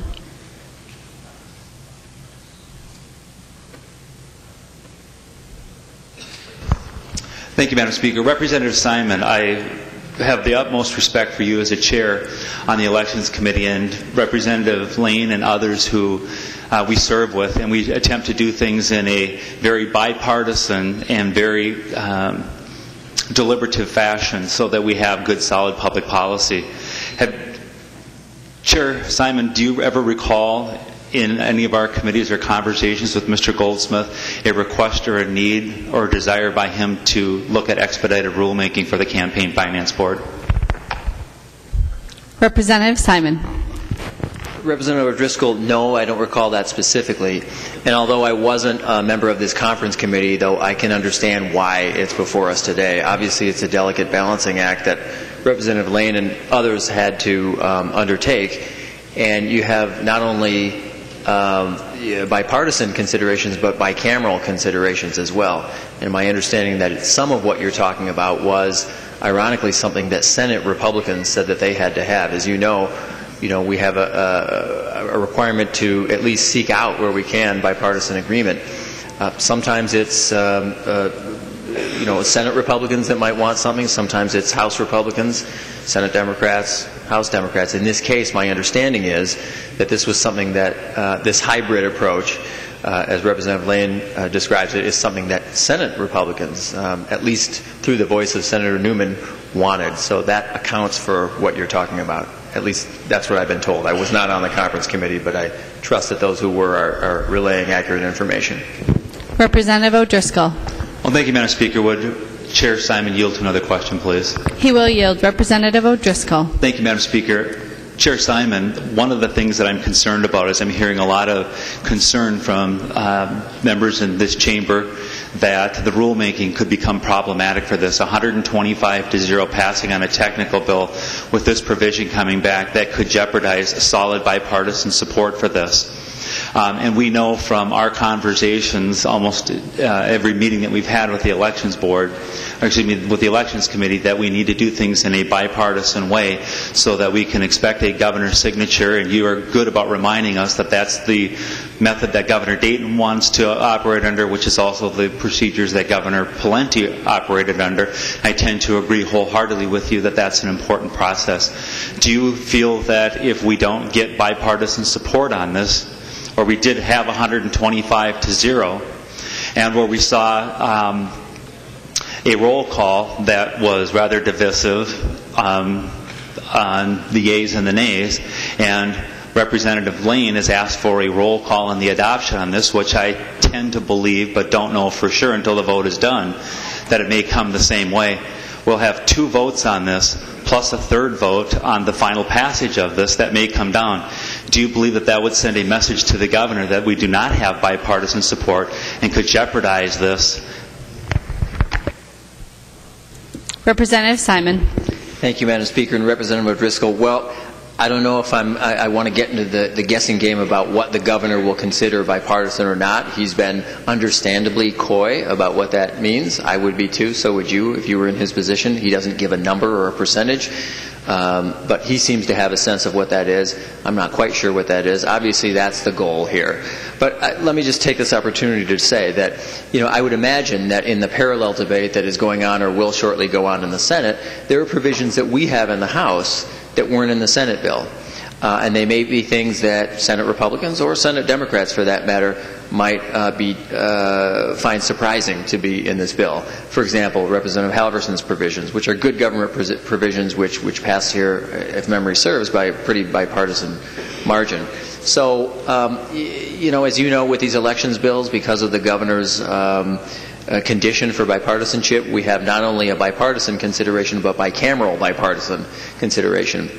And though I understand and respect your concern with one aspect of many in this bill, um, it is something I'm led to believe that Senate Republicans actually said that they wanted. So I can understand the position of Representative Laine and her counterpart in the Senate in trying to you know, achieve that delicate balance. And as with many bills, not just election bills, there are things in here that, that either we want or that we were uh, not surprised by, and things that we might not want so much and are surprised by. But at the end of the day, I think it was up to Representative Laine and others to try to achieve that balance. In my judgment, she's achieved it. Representative O'Driscoll. Well, thank you, Madam Speaker. I guess I'll make a comment to the body at this point uh, on this matter. Um, Chair Simon had indicated that there are some provisions that were in Representative Halverson's bill that had passed off the floor. Uh, my recollection was that it did not pass with as strong a bipartisan support as we've seen other bills of this nature. Um, I had asked to have that bill tabled because we were looking for a, a fix, a very simple fix that I'm glad to see, and that's why I asked Representative Laine what that correction was, because it was something that Representative Halverson and I were working on this body, this chamber had a chance to debate that position and that provision. And I support that in here because our body, our chamber, has had a chance to look at that. The part that I have a problem with is that I think a good bill is going to be uh, going bad, if you will, as a result of the expedited rulemaking provisions that are in here. And again, it's unfortunate that we're going to have a solid track record on this that says, I want a roll call, and we've got a very divisive vote now we've got a roll call again on the adoption, which I do believe is going to be divisive. And if those provisions of rulemaking stay in here, I believe that we're going to have a very divisive vote on this as well. And good public policy will be jettisoned potentially, depending upon what the governor's individual definition of bipartisan is. We still have time. We can send this back to conference committee and ask for this singular provision to be removed. And it is my hunch that we would end up with that 125 or so to nothing vote again coming off of this floor. It is one simple request to continue to make good public policy. I would hate to jeopardize good public policy by playing chicken with the governor as to what is and what is not solid bipartisan support. So, members, I ask that we do not adopt this and that you vote against adoption and send it back to conference committee. It will be a quick conference committee, no question about it. I think we've laid the case tonight or this morning as to why we want to change that. Thank you, Madam Speaker. The member from Olmsted, Representative Benson. Well, thank you, Madam Speaker. And um, I know it's late, but uh, I'm a little bit more curious than Representative O'Driscoll in terms of why we, we ripped out the piece about the uh, foreign travel. So, uh, Madam Speaker, would um, uh, Representative Laine uh, yield for questions? She will yield. Representative Benson. Well, thank you, Madam Speaker. And Representative Laine, I, this was one of those technical bills that left uh, this body with 100% approval And uh, I know that it took some work, and it was a good bipartisan effort. I know this particular part uh, of the bill that I mentioned was uh, O'Driscoll's, or Representative O'Driscoll's um, amendment. Uh, but I'm curious, um, you said uh, just a, f- a few minutes ago, in fact, that uh, this is one of those provisions that just fell off the table, but it's my understanding, in fact, that even though there was no pushback or questions by the Senate regarding this uh, part of uh, the bill, that um, you took it out. And uh, I, I think it's a very common sense um, piece of legislation that, that adds some uh, transparency and some accountability. And uh, so, uh, if you could, please help me understand and the body understand why, with such a strong position, I don't know, could be any stronger than 125 or 129 to nothing, why you would concede the portion of the bill that we came together as a body bipartisanly to decide that this was important. Representative Laine. Thank you, Madam Speaker. Well, I, we go through all these different things on the conference committee, and we uh, give and take, and uh, I just didn't have the votes to do this one. Representative Benson. Well, well thank you, Madam Chair. And, and I, you know, I've been in conference committees, not any this year, of course, but um, and I know there's give and take. But what was asked for, what had to be given, and and I, I, that's really not a great explanation why a bill that got 100% approval has such a level of modification in, in a conference committee when there's nobody asked for this and there wasn't any deal. I mean, you didn't have to trade this for, for anything. So, Madam Chair, I'd ask if, if she would yield for another question, just answer the, the few questions that I just had. Representative Laine.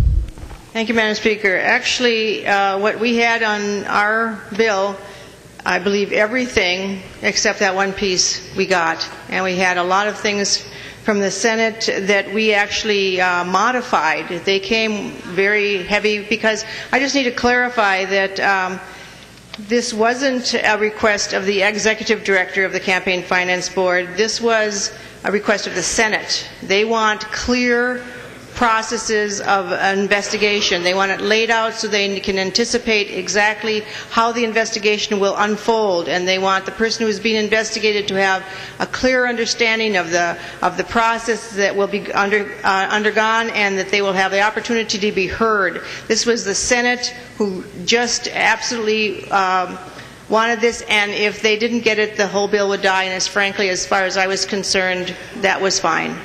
Um, and it was at that point that they were willing to take um, um, Representative Halverson's bill and uh, we then worked through the things that they brought in this in this process of investigation and this process of expedited rulemaking, and we insisted on changes in what they had brought. So, uh, because I felt that some of the process that they had put in there were, were inappropriate, that they had gone too far. So it was fixing and changing and, and modifying, and um, I think we did a good job in getting almost everything we, we went in with. Representative Benson. Well, I guess, thank you, Madam Chair. I've, I've beat this one up enough, and uh, I'll probably sit down and let somebody else. Uh, I'm not sure that I got an answer to any of the questions that I asked. In fact, uh, good try. Uh, but what I didn't understand from what you said was, wow, we've got a strong position here. And, and then I heard something like, um, uh, we, I could have just sat down and gave up. And, and, and it was okay because they pushed back. Well, from my understanding, there wasn't any pushback at all on this piece uh, of legislation, and then it is just dropped off the table because maybe I know that we're not supposed to, to, you know, call into question any motives here, but maybe suddenly a piece of Republican legislation that made this a bipartisan bill wasn't as important any longer. So I, I, I didn't get an answer, and uh, you know, I, I certainly. Uh, you know, I was one of those that voted for the bill going out. I, I can't vote for it now as it's coming back in, for not just this reason, of course, but the, we've changed the technical bill so that it's not even close to what it was when it left the bill, uh, left this body. Thank you, Madam Chair. The member from Hennepin, Representative Anderson. Uh, thank you, Madam Speaker. Would Representative Halverson yield, please? She will yield. Representative Anderson. Uh, thank you, Madam Speaker. Representative Halverson, I understand that you served on the conference committee for this bill. And I'm wondering if you could look into Section 5 of the bill. And if you can kind of explain what your interpretation is of the new language that was added on section 5, in particular line 25.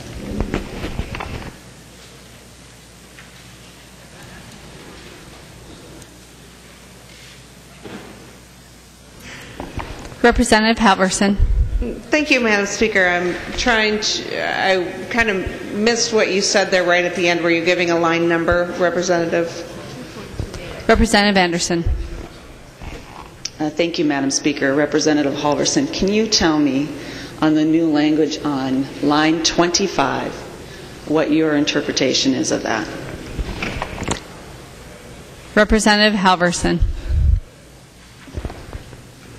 Thank you, Madam Speaker. So I heard line 25 and did not hear a page number. Representative Anderson. Thank you, Madam Speaker. I'm looking at section 5 of the bill. It's on page 3, line 25.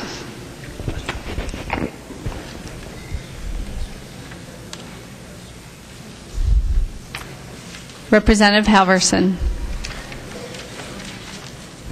Um, Madam Speaker, it is still unclear, and I'm getting some uh, assistance here uh, from around me. Uh, page 3, line 25, as far as I can see, is section 6 of the bill. Um, so I'm still not clear what is being asked. Representative Anderson. Um, Madam Chair, uh, Representative Halverson, I'm looking at the conference committee report. Do you have that in front of you?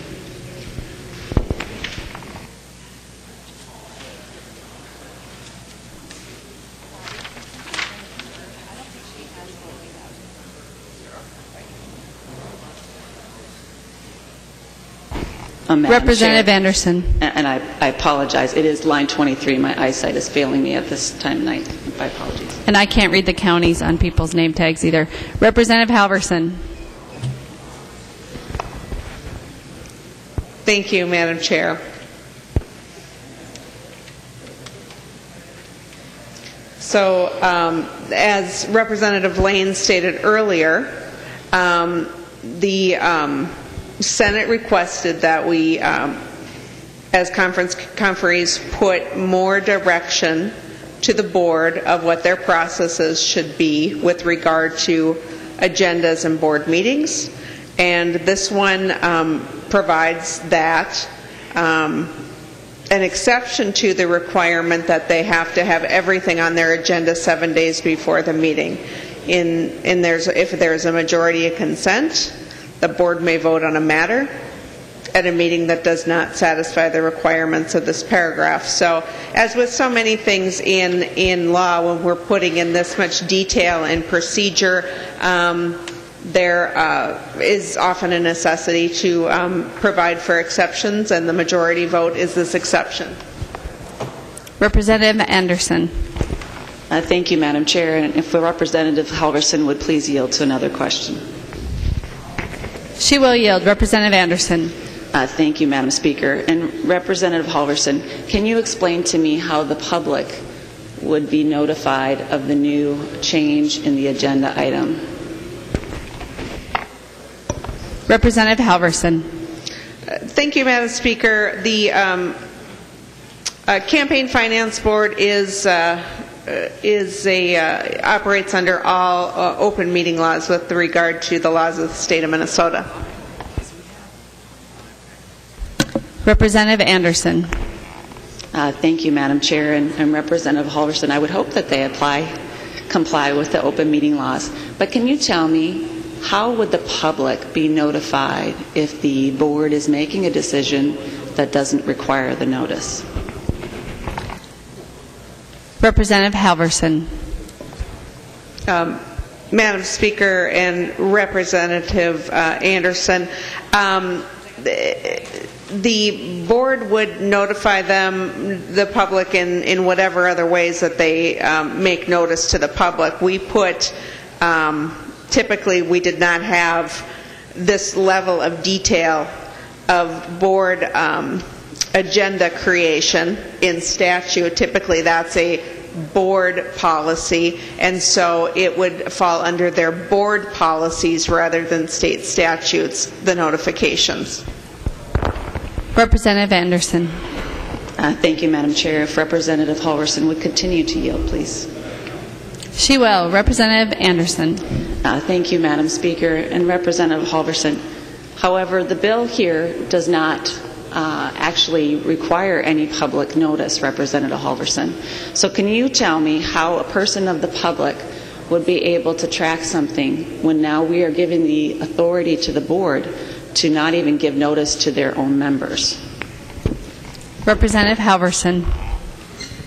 Um, M- Madam Speaker and Representative um, Anderson, I suspect that there's more being read into this than, than actually exists. Um, this is a situation where the board policies aren't changing. Public notice is not changing based on state statutes. The way that members are being notified is, is being codified. Um, whether or not that's dramatically changing from board procedure is is is not clear to me. But this is uh, simply a matter of the the Senate wanted codified language with regard to the way the board um, creates its agendas, and it is now in the bill. Representative Anderson. Uh, Thank you, Madam Speaker. Representative Halverson will continue to yield. She will. Representative Anderson. Uh, Thank you, Madam Speaker. Representative Halverson, even if that were, why would we want to, why would we want to advocate that the board not give public notice? Why would we want to say to the board that you do not have to make the public aware of decisions that they're making? Not only that, in this language, we are giving the board the authority that if two members are missing, the remaining four members can vote on a measure that wasn't included in the seven-day notice. Can you explain to me why we would do that? Representative Halverson. Uh, Madam Speaker and Representative Anderson, we are not doing that. Um, as I stated, the uh, uh, board policies um, and uh, public meeting laws, uh, nothing changes with that regard. Um, this is simply a codification of the way the agendas are created by the board and communicated to board members. Representative Anderson. Thank you, Madam Speaker. But Representative Halverson, as you just said a moment ago, there is confusion over this. And if there's confusion over this, this means that the people are not going to be notified. This means that it's left up to the interpretation of whoever controls the board at that time. So now we have a situation of a six-member board where four of those members can say, no, we're going to do it this way, and by the way, we're adding this little item onto the agenda without the public notice of seven days. I think it says pretty clear in the language that we have, at least on this part, that it says by majority consent, all the, of the, all members of the board, so that's four out of the six, the board may vote on a matter at a meeting that does not satisfy the requirements of this paragraph.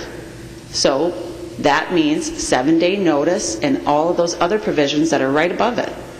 So why, why, what was the impetus of doing this, other than now we're going to try and codify bad policy? If that truly was the case, we're going to put into law lack of transparency. Can you tell me what, what, how does this serve the public? How does this make the process of tracking campaign finance board actions? How do we make that easier for the public to track? Representative Halverson. Thank you, Madam Speaker and Representative Anderson. Again, um, with regard to public notice, um, nothing is changing with this bill. Um, the Campaign Finance Board has uh, always met in public as per the open meeting law and continues to communicate with the public in the same way. This bill does not change that.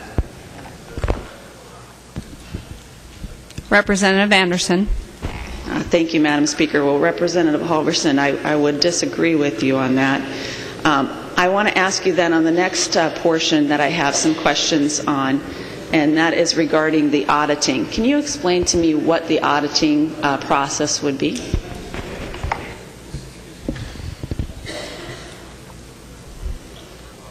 Representative Halverson.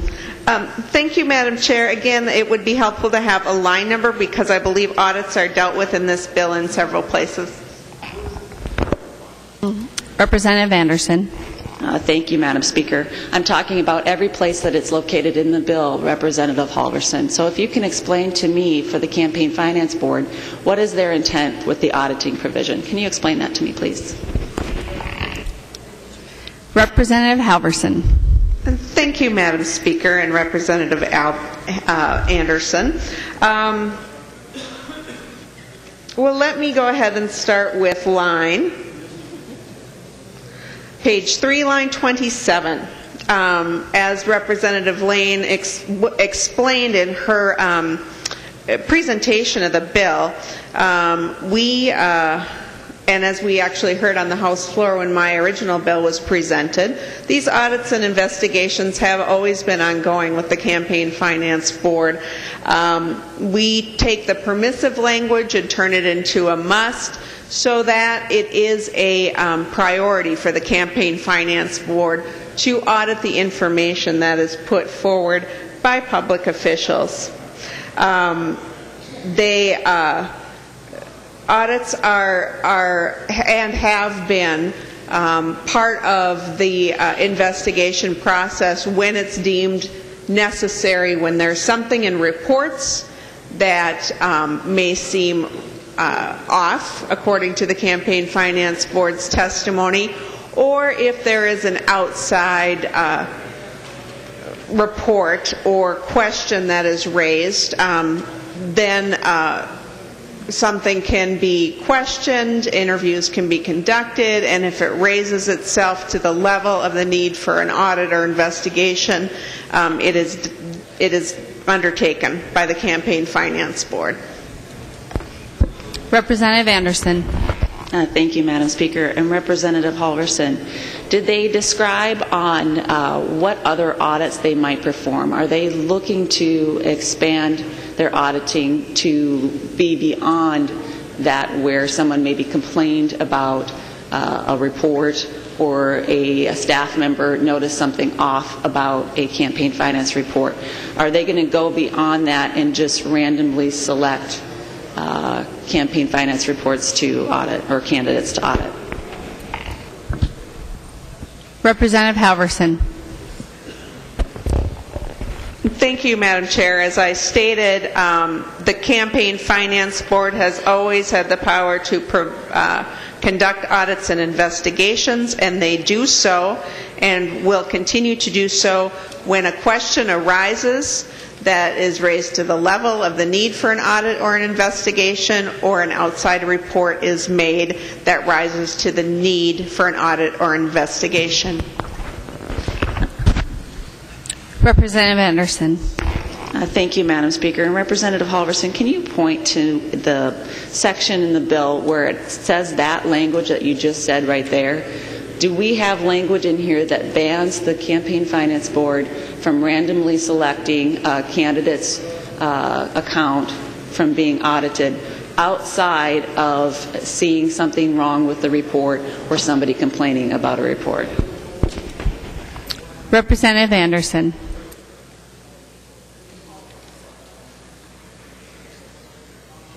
Representative Halverson. Sorry, it's like ping pong. I'm just not keeping up. Um, Madam Speaker, Representative Anderson, the um, audit uh, provisions with regard to the processes for the Campaign Finance Board are part of the Campaign Finance Board's um, rules. It's not um, in direct statute, that direction. Representative Anderson. Uh, Thank you, Madam Speaker, and Representative Halverson. So just to be clear, there is nothing in this bill or in current statute then that would prohibit the Campaign Finance Board from randomly auditing campaigns for whatever reason outside of there being a problem or glitch identified by either staff or uh, a outside complaint. So you're saying that there is nothing in this language that doesn't that that prohibits them from becoming the IRS or anything to that extent. Is that correct? Representative Halverson. Thank you, Madam Speaker. Representative Anderson, I believe that we are all aware that the part of the job of the Campaign Finance Board is to ensure compliance with our very um, high level of campaign finance laws and with um, respect to uh, our conflict of interest and, and other provisions that are provided for within this chapter of law. And so um, their power to audit and investigate and subpoena has, has always been a part of the role of the Campaign Finance Board, and this um, piece of law will um, have that continue as they have been operating. Representative Anderson. Uh, thank you, Madam Speaker. And Representative Halverson, there's another section of the bill I'd like to ask you some questions on. And I am looking at Section 7 of the bill. And can you tell me what was the, the logic or the rationale behind giving the sole prima facie uh, uh, authority to the board chair?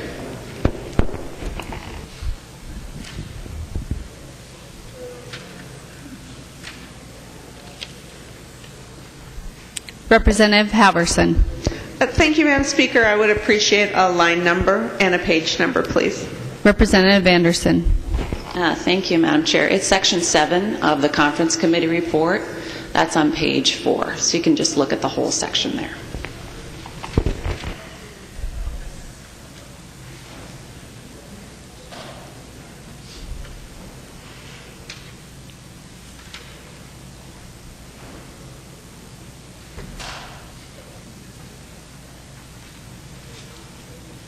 Representative Halverson.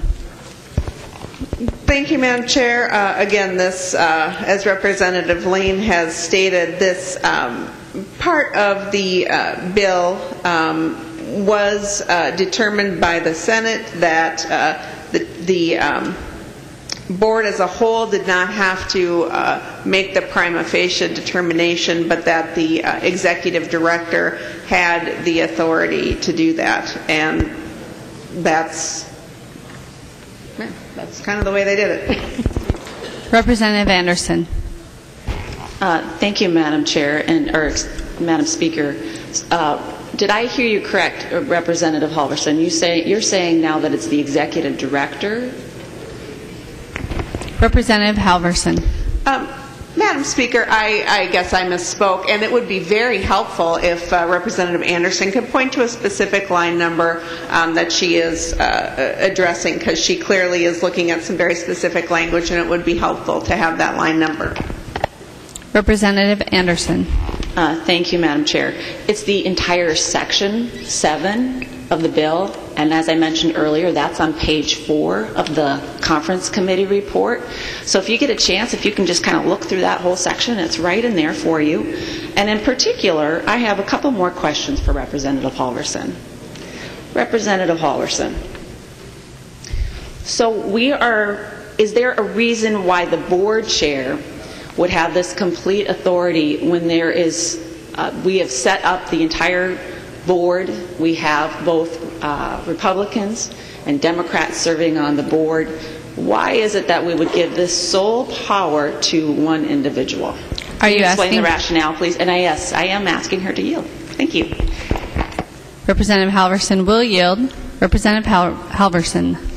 Well, thank you, Madam Speaker. And I think that um, Representative Anderson might be a little confused as she talks about the amount of power that we're giving a particular member of a board or a board chair with regard to this section. And um, this is an initial uh, initial finding, and a, a finding that um, is brought to the entire board to say, do we move forward with this investigation? This is a board of, as we know, volunteers. Many people come from all over the state to volunteer on this board, and so we definitely want to um, be sure that when we gather this board, and we um, are the taxpayers are paying uh, meeting charges or travel charges that we are gathering them to do um, really important work and so uh, this is an initial step uh, in a process that, as you can see as you read the bill, which I know you've read carefully, is, is um, laid out in, in numerous steps. And that, that the board does get involved and uh, it, it is very clear what the roles of each member of the board are to be. Representative Anderson. Thank you, Madam Speaker. If Representative Halverson would yield, please.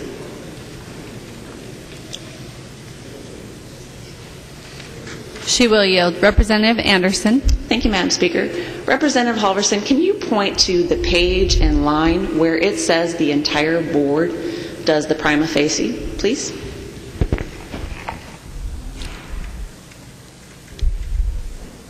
Representative Halverson. Um, uh, rep, uh, thank you, Madam Speaker. And Representative um, Anderson, um, as I said, this is one step in a, a long process that is laid out throughout this section, so I don't believe that um, I referenced a particular um, line.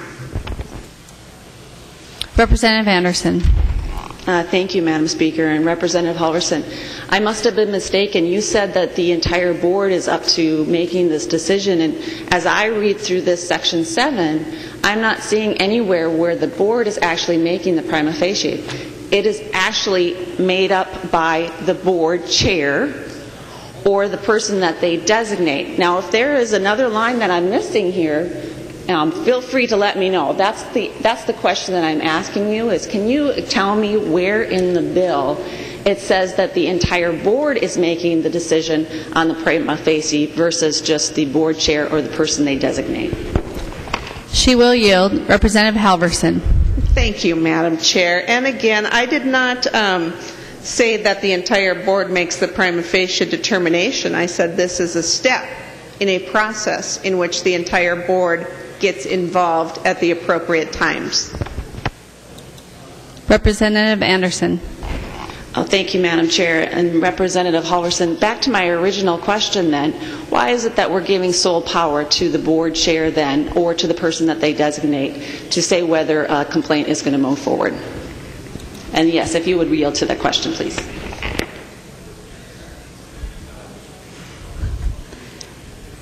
She won't yield. Representative Anderson.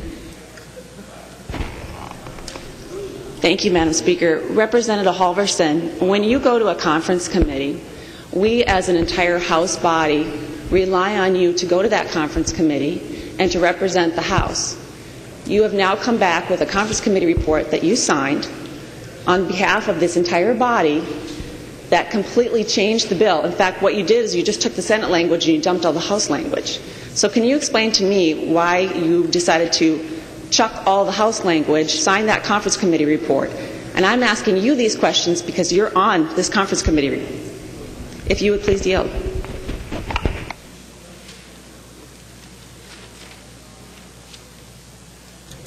She will not yield. You could ask somebody else your question. Uh, thank you, Madam Speaker. So, as I'm supposed to understand then, as a conference committee appointee, you don't want to answer the questions of this body that we have as you go and represent us as a body? I think I'm just asking some basic questions here. I have grave concerns about this section because what we are doing is we are saying one person is going to determine whether a complaint goes forward.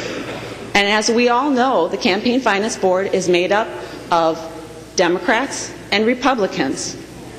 So imagine if you put up a complaint and the chair happened to be a Republican and that Republican board member said this is not, doesn't meet prima facie and so that gets tossed out, how is that going to make you feel?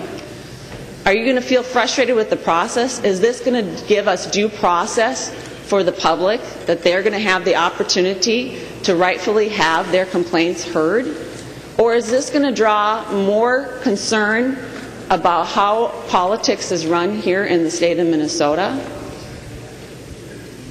I would argue that we are making this worse for our state. We have a situation now where board chair in a partisan representation board that they are going to be making these decisions willy-nilly And then we have really not a whole lot of recourse. Can you tell me what the recourse is, Representative Halverson? What's the recourse if that board chair doesn't find prima facie for that person? What happens to that complaint? Where do they go next? Can you explain that, please? Are you asking her to yield?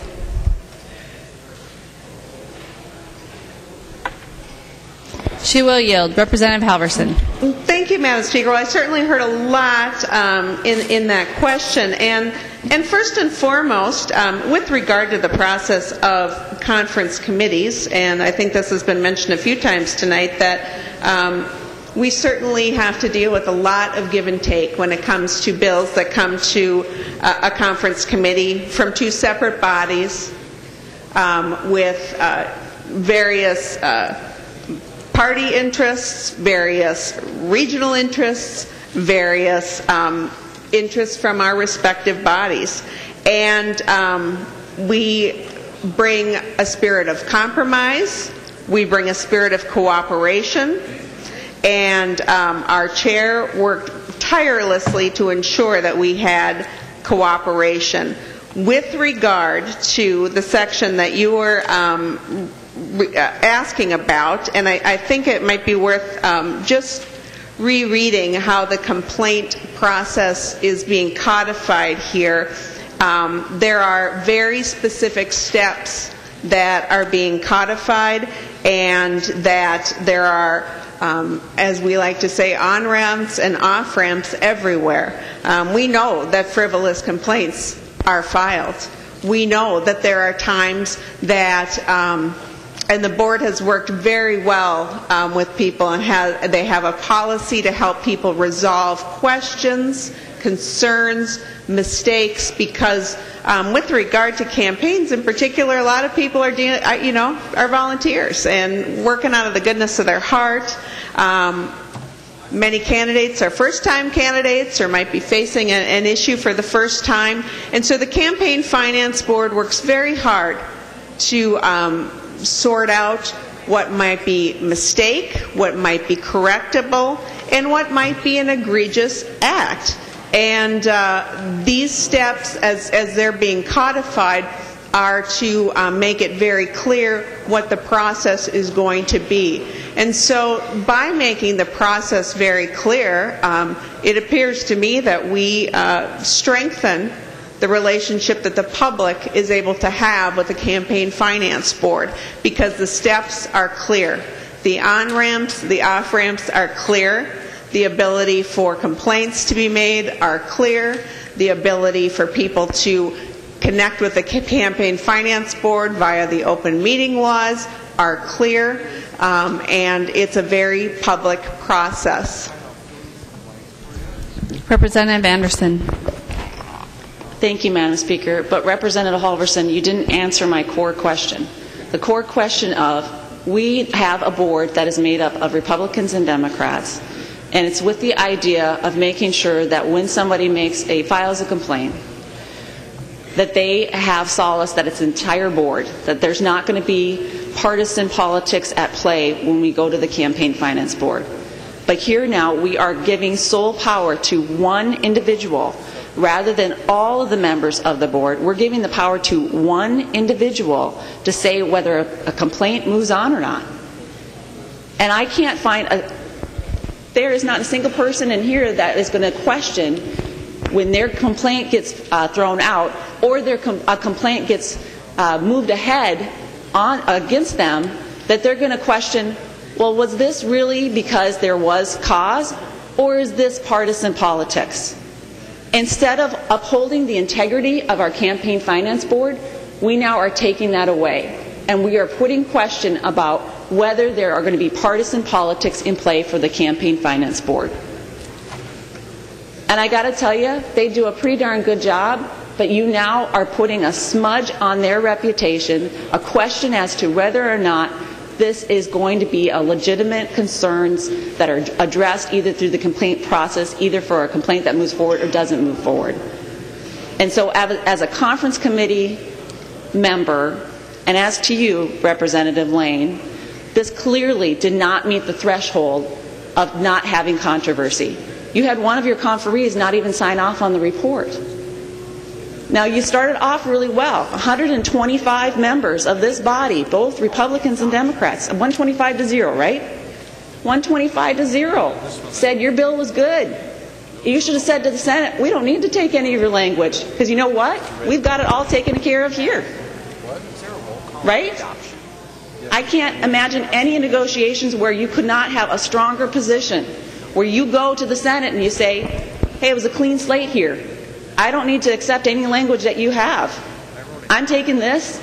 Let's go with it. It's good, clean bill. Let's bring it back. Be done. Zip, zip. That's how it should have run. Instead, now we're adding question into our campaign finance board about whether it's going to be a partisan board. We're not going to be able to rely and trust on this board anymore. And plus, we had earlier in the bill public notification. Even if that was their practice in the past, it's wrong. We're now going to say that it's okay for the board not to have notification, that we're going to wipe out a seven day notice. I can't imagine a single board. If we were to do that here at the legislature, if we were to come up and say, oh, by the way, Ways and Means, we're going to just tack on this bill right now. Oh, wait a second, maybe we do that a couple of times. I've probably seen it this year. But seriously, is that how we're going to operate? We're going to condone that, that that's an okay thing to do? And there's so many questions within this bill. We came with a bill that was 125 to 0. That's all you needed to pass. And instead, we've got a bill that is going to have a guarantee split. And I just think that's really unfortunate when you could have just had a home run on this bill. Members, I strongly encourage you, if in case you didn't know, I strongly encourage you to vote no on this. This was poorly done. We should send this thing back because you could come back with a victory. And I know, Representative Laine, your heart's in the right place. I truly do believe that. But this was not the right approach. And I, I feel bad that the Senate treated you this way and that you've got this language in here because we could have had a home run, home run with this bill without this language. Members, please vote no.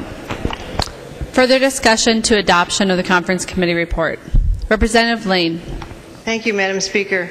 We've had some interesting things said here, and just because a person stands on the floor and says things doesn't mean they're true. A lot of things have been said here pointing to this and why not this and why not that, and the answer is very clear. This is to make the Campaign Finance Board's investigation very clear, very easy for a person who is having an investigation against them know exactly what is going to happen and how it's going to happen. This is very good policy for how we have investigations happen. It cleans things up, you might say. This is what the Senate wanted to achieve. And I will clarify around this frivolous part when a complaint comes in, the first thing to do is this frivolous?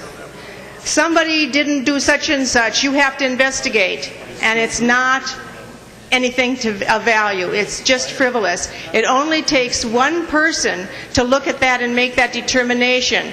Well, by virtue of being one person, they are possibly going to be on one side of the party, one, one political party, so that the person who has submitted that complaint has an opportunity to come back a second time and say, I really mean, I really mean it. I want you to I, look at this complaint. At that point, Another person on the board looks at it to see if it's frivolous. And that person, that second person, has to come from the opposite party. Now, that person can say it's frivolous, and the complainant can come back a third time and say, I really think this is serious and not frivolous. At that point, the entire board gathers from wherever they come from, has a, a volunteer uh, board, comes together for a meeting to say, is this frivolous or not? So there is a very clear process just simply to determine the first step, is this frivolous? And then, if it is real and not frivolous, they do the probable cause to see if there's a, a, probable cause for an investigation. That's the second step. And then the third step is the full investigation. This is a very clear process. It is more detailed and better for us than it was before. And this is what they will now make rules around to make it detailed and make it work out. And it is a good bill. It is an addition to our bill that the Senate put in there from all their processes. It is a good bill, and I have heard from your side that some people think this is a good bill. They just don't like the expedited rulemaking ideologically. In fact, um, perhaps Senator uh, Representative Sanders will yield for a question. He will.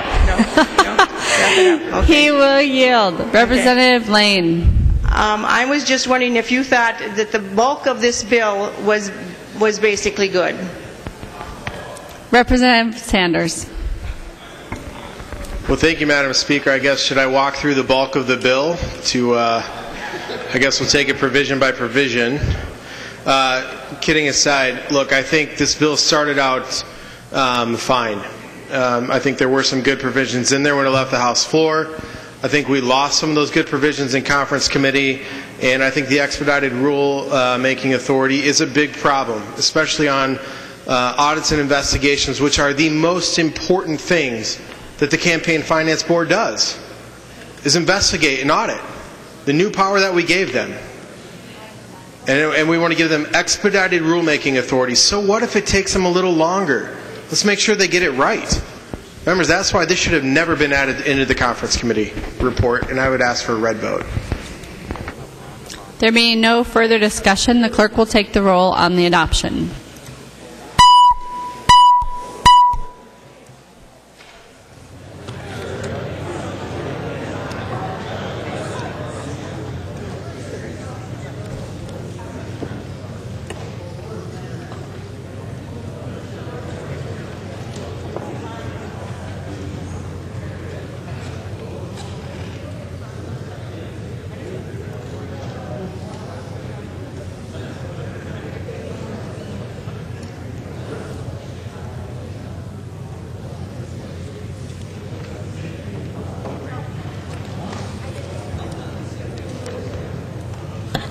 The clerk will close the roll.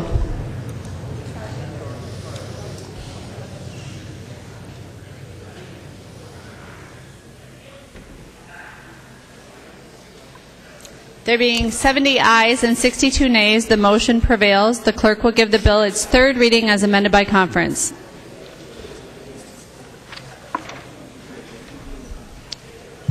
Third reading, House File 2531, as amended by conference. Third reading as amended by conference. Discussion. Seeing none, the clerk will take the roll on the bill.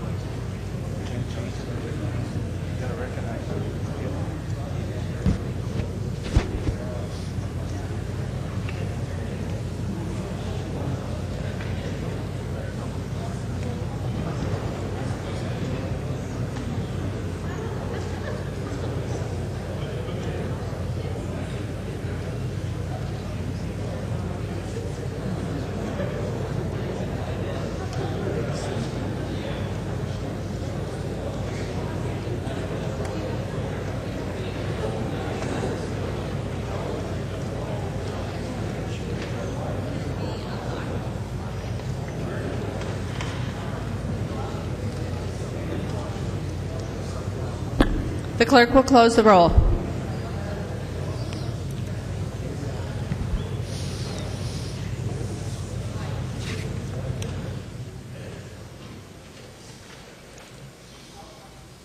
There being 70 ayes and 61 nays, the bill is repassed as amended by conference and its title agreed to.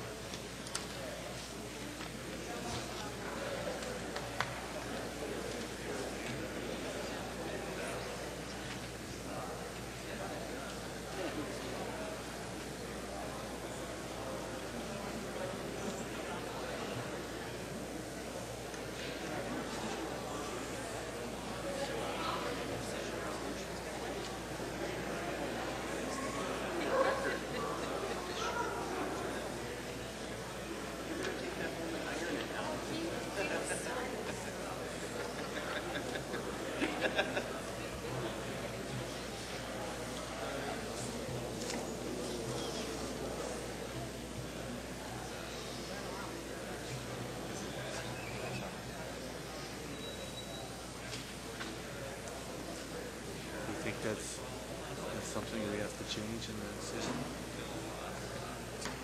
That's a good point, if we could allow that, yeah, that's a good idea. We can,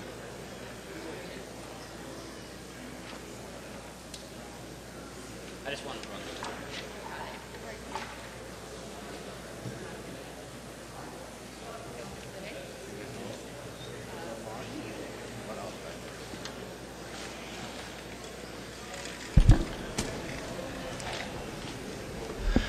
The uh, next bill on the calendar for the day is House File 2490.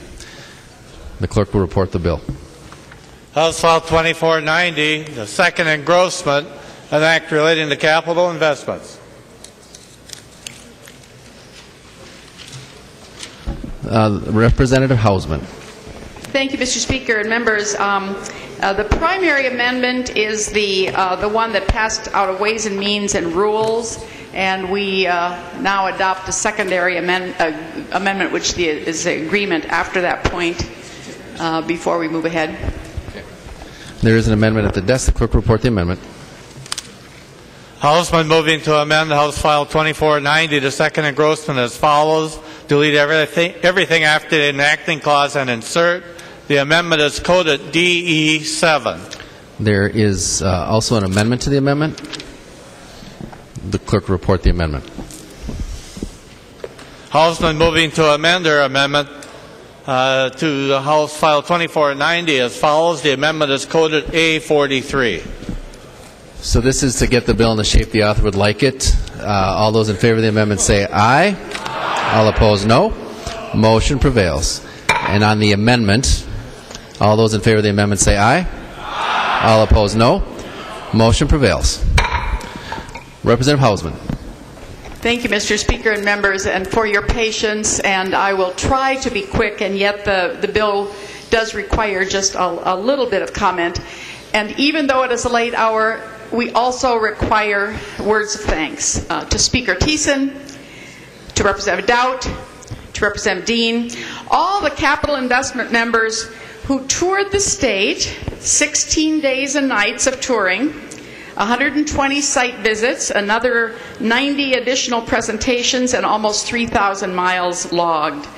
Um, very, very grateful to capital investment members, and of course, staff, partisan and nonpartisan. Deborah Fastner, my uh, legislative assistant, and Jenny Nash, the committee administrator, the fiscal analyst, Andrew Lee, the uh, partisan, the partisan staff, Gabby Sujan and Andy Pomeroy.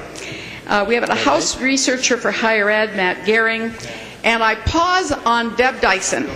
Uh, a brilliant wordsmith. And what would we do without people like this? At all hours, we give them an impossible job, and they do it brilliantly. A reporter asked me today, he said, How late are you keeping up the staff up?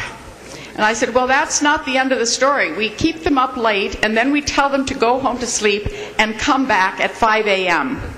And that is what uh, people like Deb Dyson have done for us. The reviser, Jeff Case, and our page, Max Hall. Thank you, thank you, thank you very much.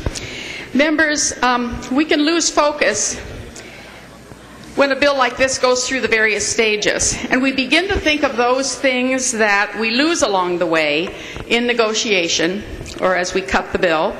But a letter this week refocused my thinking, and this letter is for you as well. It's a thanks to you as well. I just wanted to thank everyone for their efforts on putting together the bonding bill. It is an amazing list of projects that will touch literally every facet of our state and the lives of many, many people in innumerable pos- positive ways. While not everything was able to be done under the constraints that were imposed, a lot of good things are being done, and in the end, our state will be better for it. That was someone watching our work who just wanted to weigh in near the end of this time. And there are a, a, lot of good things, many of them a backlog from previous vetoes, at least 20. 17 of the Min, uh, building projects on the current list have been before the legislature prior to this session in 2008, 2010, 2012. The WIF priority list has 69 projects. The Clean Water and Drinking Water priority list has 698, a huge backlog. The backlog for port development assistance, 25.6 million. So a backlog indeed. The uh, bill is filled with lines that leverage other money. Federal money, local money, private money. In uh, the BWSR area rim, after the enactment of the farm, federal farm bill, there is again federal money that is matched in military affairs, in, in PFA, uh, or in areas like the Southwest Regional Sports Center, where the Schwan Food Company has donated 12.3 acres of land for the sports center. So much federal, local, and private money that is uh, leveraged. Members, I'm going to uh, speak to both bills. There is a general obligation bonding bill and a cash because the spreadsheet you have has both of them. And to save time, we'll just uh, uh, talk through that uh, very quickly, uh, but uh, not repeat it the second time around. And so, a word about um, University of Minnesota. They have given us a list of what that HEAPR money will go for and it goes to all of the campuses. I see projects on the Twin Cities campuses, the UMD campus, University of Minnesota Morris, the University of Minnesota Crookston, and then research and outreach centers around the state. So, University of Minnesota, HEAPR money that goes everywhere. Uh, one line that you might uh, want some information on, and that is the Research Laboratory Improvement Fund. Uh, the two parts of this we funded uh, we're the laboratory that will uh, contain uh, the bee research that is nationally and internationally recognized and the aquatic invasive species research on the St. Paul campus. And so those are funded. Under MnSCU, uh, at the beginning of the, uh, the, the session, I introduced a larger bill listed all of the MnSCU projects because I really thought this year we should fund them all because of that backlog. But many people said we never do them all, and that's the, uh, I think, the, the challenge we have that, uh, they, that they fall further and further behind. I believe you had uh, delivered to your desks, and I don't know if it's been distributed, uh, the HEAPR list for uh, MnSCU campuses. Um, if that, I don't know if the front desk has distributed that or, or not, but uh, yes, it is, it's, it is on your desks. Uh, the 42.5 million in university or in MnSCU funds projects at 28 of our 31 institutions, 29 of 54 campuses. A lot of high priorities on those. Uh, you see most of them by name. That last line indicates that many other campuses have smaller projects, so you don't quite see them all uh, mentioned. But um, I think there are some 50 some campuses that uh, receive some of the asset preservation. Uh, the one I want to specifically give mention to in the MnSCU list is the Education Village at Winona State University. We in the House had that at a much higher uh, level. Uh, we tried to hang on to that for a long time. We thought we should be more aggressive about this. This will be designed with integrated, flexible, and state of the art learning and teaching space to lead the country in teacher preparation. And we can certainly be proud of that.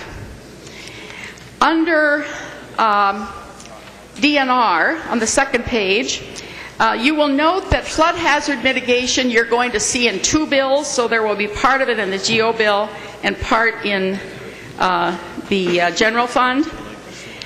Uh, trails people uh, work very hard in their communities. We fund a significant number of trails in this bill all around the state. I'll read some of them later. Those trails and all that planning come right out of the community. All the work is done on a grassroots level. And on many of these trails, the people in those communities have been working for a decade. They have been waiting. There have been line item vetoes on trails. There have been years when we didn't fund trails. So we have honored the work of many, many communities by forwarding these trails. Um, under uh, BWSR, the Board of Water and Soil Resources, I must make mention of RIM. I always, every uh, cycle, start with a very large number.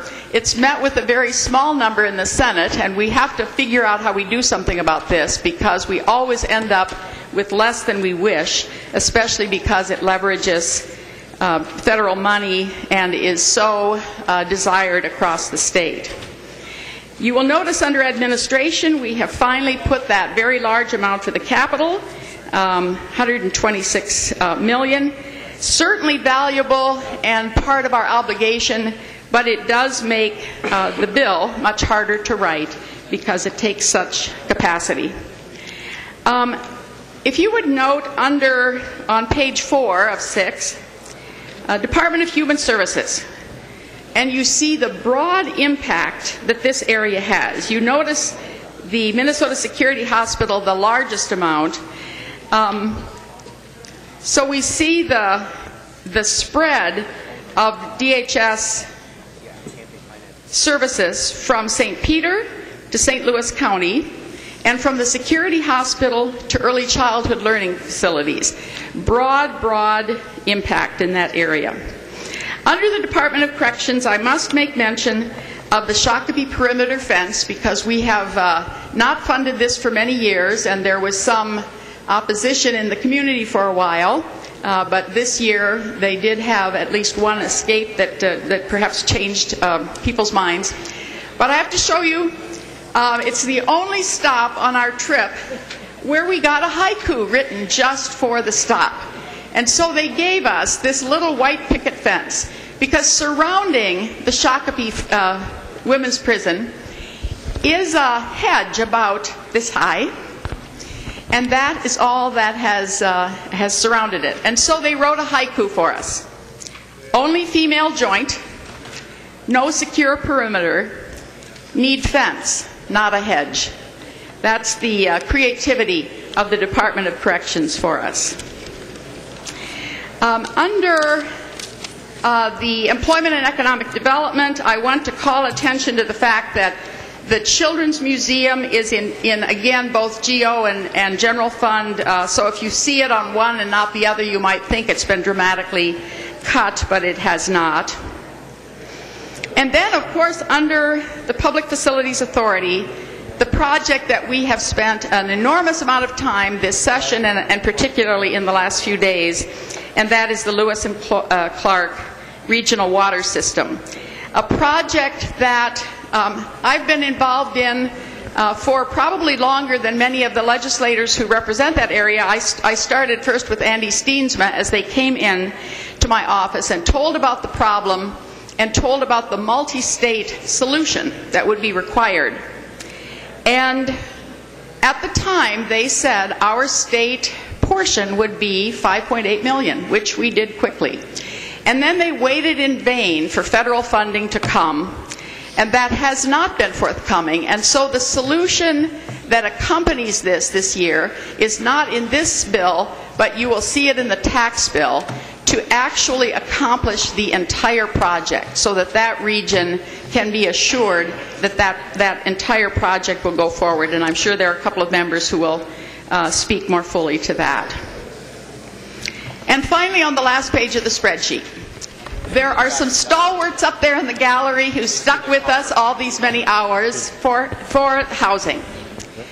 100 million in housing, 20 million public housing, and 80 million in housing infrastructure. 35 of us on this floor are co authors of this bill.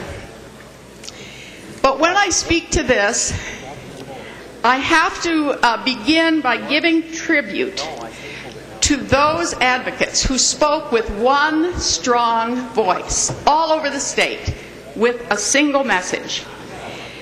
Working together, sticking together, they accomplished a great thing.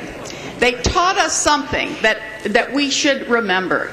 If you work together and stick together, you really can accomplish great things. And it was a lesson learned. We thank them for it. I want to just um, uh, there's so much to say about this, I will just uh, mention two. I usually, usually use them in most of my speeches because I hope they get repeated over and over.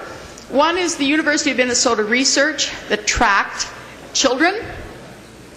And what they found is that when uh, children had reached fifth grade and had been homeless or highly mobile, they achieved at the level of a second grader who was in stable housing. The contribution of homelessness to academic achievement. In the state of Utah, they determined that it was going to be less expensive for them as a state to simply house people than to pay for the cost of homelessness. And they set out to end homelessness, and in seven years, cut homelessness 78. Uh, eight years, they cut it 78 percent. Some I, I may have been slightly off on that. Um, it is a huge part of the bill, unprecedented, and thanks go to that vast majority. There are uh, people gathered in the gallery. They represent thousands all across the state. Thank you very much.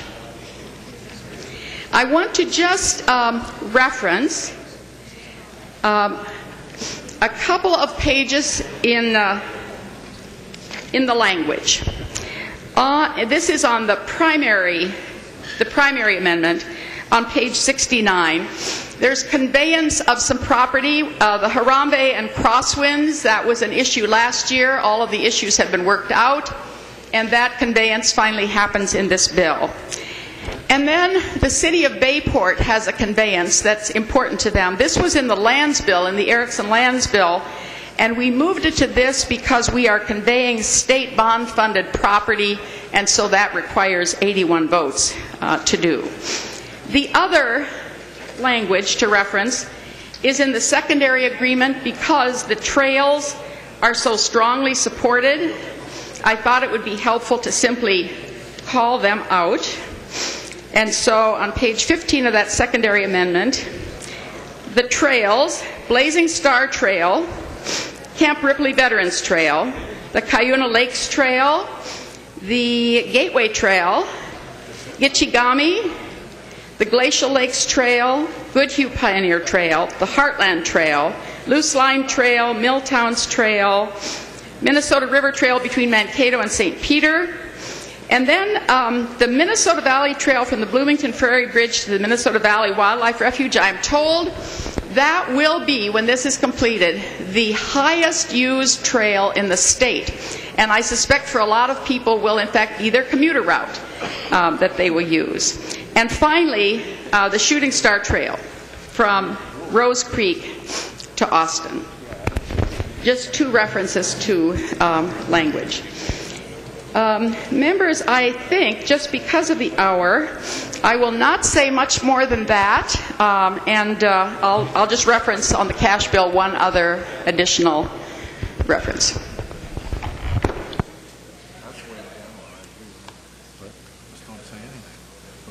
Complaining.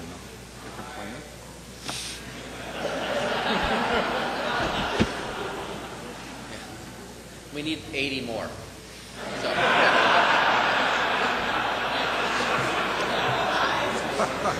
Move it.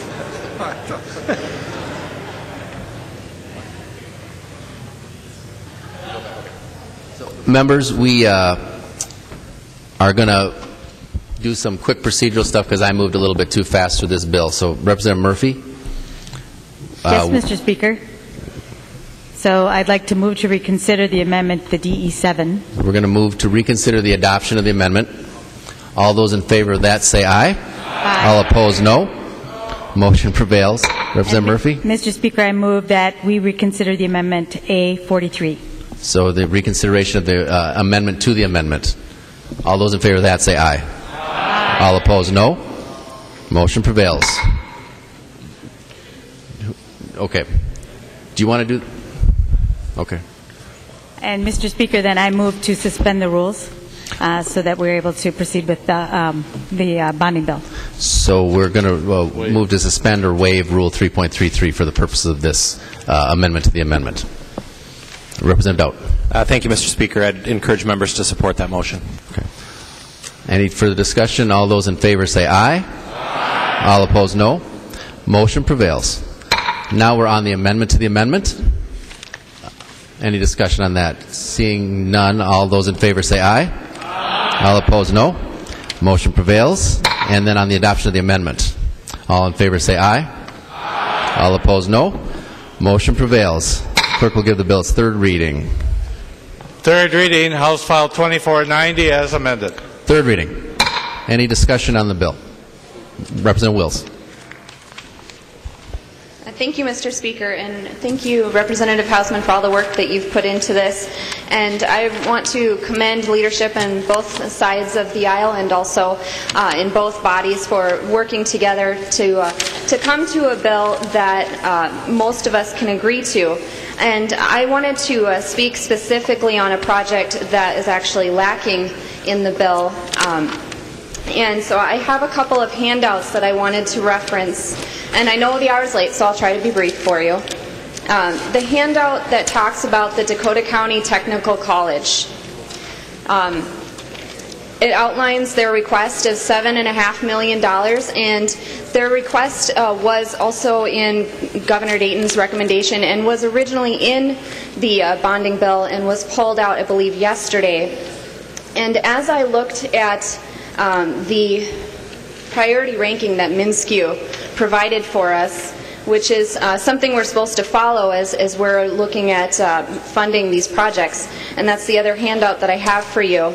Um, you can see that the projects that have the, um, the plus signs are projects that were included in the final language and the projects that are circled are ones that were skipped over. Uh, and my concern, members, is that we were or I should say, uh, um, I wasn't part of the negotiations, but those negotiating uh, the uh, language and, and, coming to a final agreement uh, deviated from the uh, the ranking that was provided to us by MnSCU. And my concern is that uh, projects that were further down in the ranking were included and, and yet the Dakota County Technical College was not included, and it's number 13 there on the ranking. And uh, you can see, if you look on the back side, that even um, project that's ranked number 22 was included in the bill. And I'm very disappointed that this project was not included in the uh, bonding bill. Uh, it's phase two of uh, doing a restoration and um, improvement of the transportation and the emerging technologies um, wing in the uh, school. And the uh, Dakota County Technical College does an excellent job of educating and training uh, future uh, employees and, and workers in some very critical fields. Uh, they're very excellent jobs, high paying jobs, and, and I think that is. Um,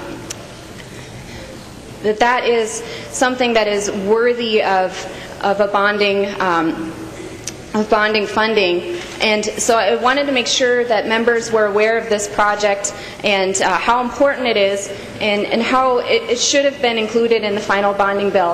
And while I'm very, um, very glad that there was 12 million for the zoo, uh, you all know how much I've advocated for the Minnesota Zoo um, in my first term here. Uh, unfortunately, with uh, the Dakota County Technical College not being included in the bonding bill, I cannot support the bill.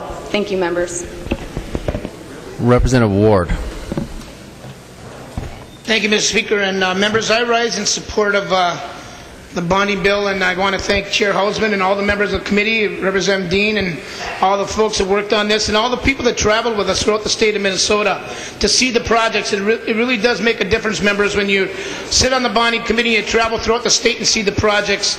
And um, so, you know, members, I just want to emphasize, re-emphasize one of the things that uh, Chair uh, also brought to us. And, you know, a, a, lot of these projects that are in this bill have been projects that have been uh, vetoed in the past, uh, have been there for a few years. And I just want to emphasize and talk about the trails for just a minute. You know, um, trails in particular have shown to be a great economic tool uh, for our uh, for our state and for our area, in particular up in central Minnesota.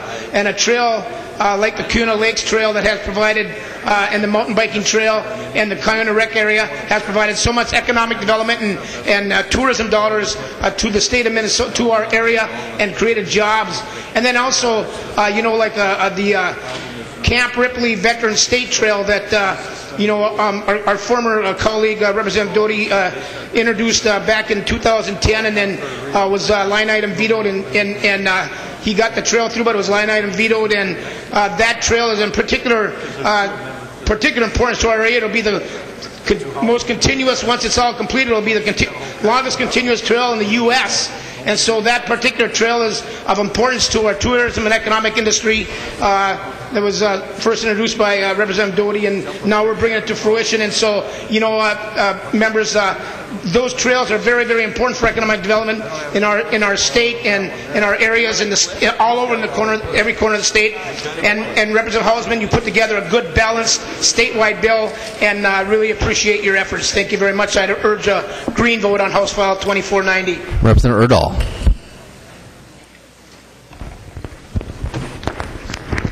Uh, thank you, uh, Mr. Speaker and members, and uh, I would like to uh, thank all those who, who, worked so hard putting this together, and uh, particularly those that that I worked some with, uh, Chair Hausman, Representative Dowd, Representative Dean.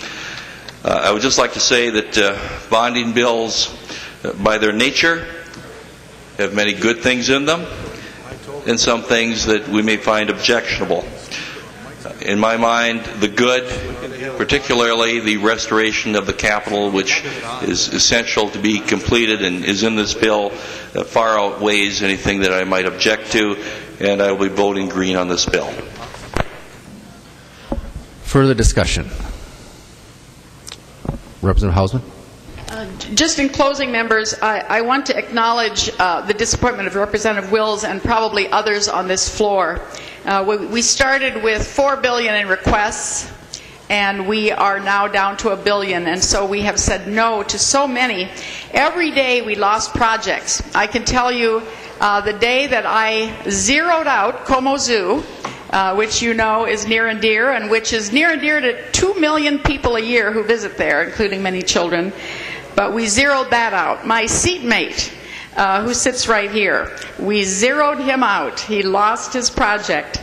Uh, so um, every day uh, in, in a process like this, uh, when a House and Senate bill come together, often the bill is larger after that process. It couldn't be this year because of that, the handshake deal last year. And so we had to accommodate House and Senate and uh, in the last days, some additional requests from uh, House Minority, and of course the governor. And doing that, every time we did it, some uh, bills fell by the wayside. So I acknowledge the disappointment of Representative Wills and so many others who uh, wish that their project had been fully funded uh, or was in the bill at all. But um, members, I would appreciate a green vote. Representative Drazkowski.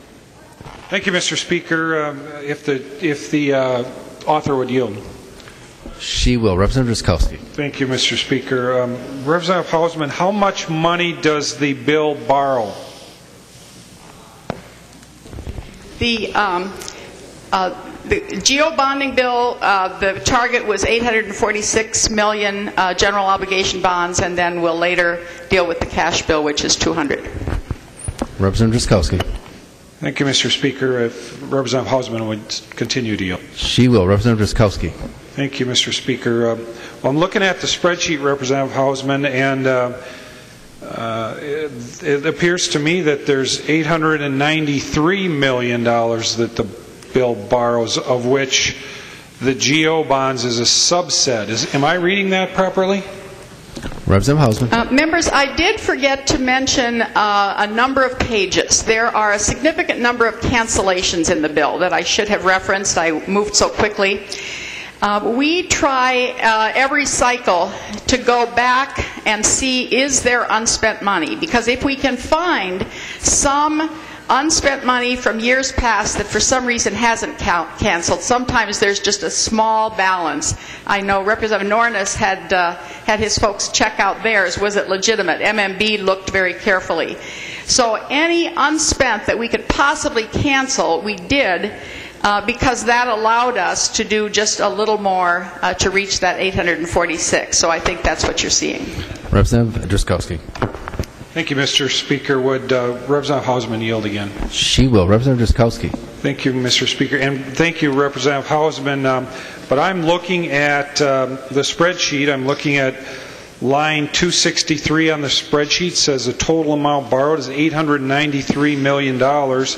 And then I'm looking at line 256 on the spreadsheet, the user finance at 39 million, uh, the transportation fund at 36 million, the maximum effort school loan at 5.5 million, and line 260, the trunk highway fund appears to borrow about 8 million dollars.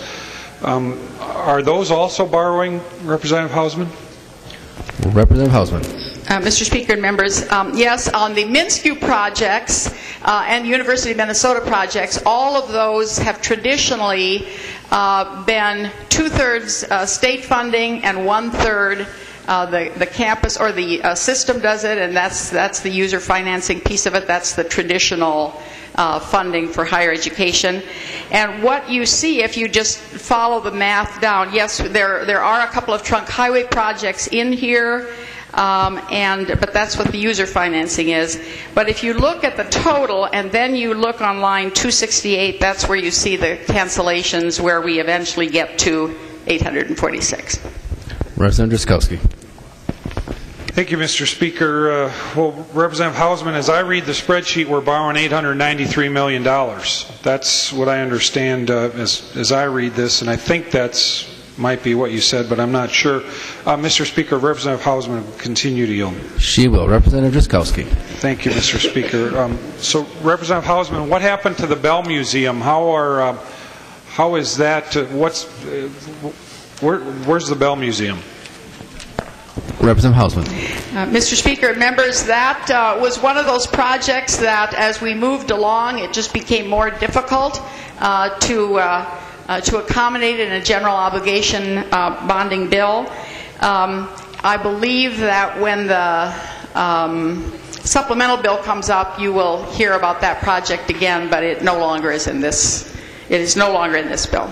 Representative Drazkowski. Thank you, Mr. Speaker. Maybe um, we can discuss it when we come with the um, the other spending bill uh, that comes forward. But, um, Mr. Speaker, thank you, members. Again, as I read this, uh, members, it looks like $893 million is the size of the bill.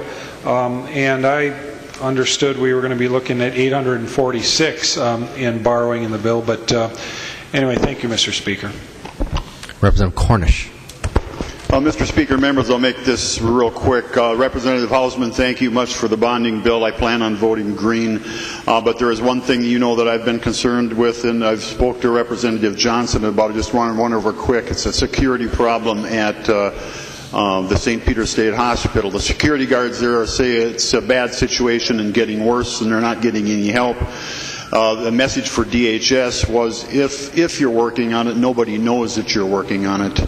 Uh, message to the union would be please step up and uh, deal with DHS on the security problem. For the past few months, I've been going over statistics on incident logs, Homeland Security logs, OSHA logs, and the St. Peter security guards have one of the highest assault rates in the country for a facility like this. And they think, uh, some of those people think that NAMI and some of the mental illness advocates are half the problem because they're terming these people there that are violent and mentally ill as vulnerable adults and hands off. They can't use tasers or restraints. They would like to be licensed to a higher degree where they could use tasers and restraints and protect themselves. Right now they feel helpless. If they're assaulted, the client jumps back, puts his hands up, and said, "Oh, it's just a bad episode," and they're forgiven, and it goes on to the next assault.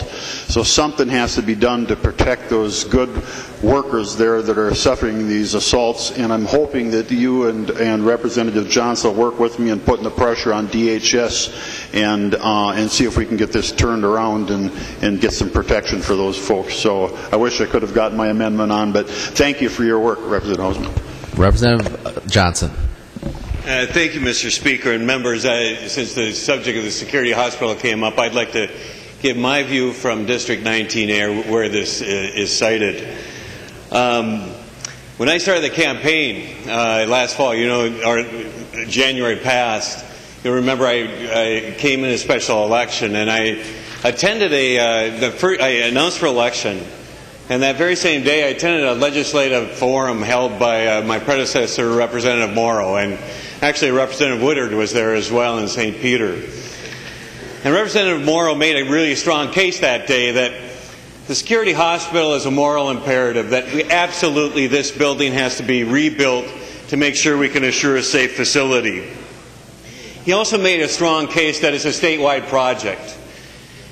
And ever since I was elected, I've really delved into this subject a lot because it's an important place in, in, my, in my district. And frankly, I think for all of us, this is an important facility in, for Minnesota. And that statewide project, I want to thank, for, thank you, Representative Hausman, and everybody involved for assuring that we have full funding to build the safer facility. It's, it's essential to provide effective care for the patients who are there. And also, it's, it's, it's, it's essential to provide safety for patients and workers, our state employees who protect and care for the patients.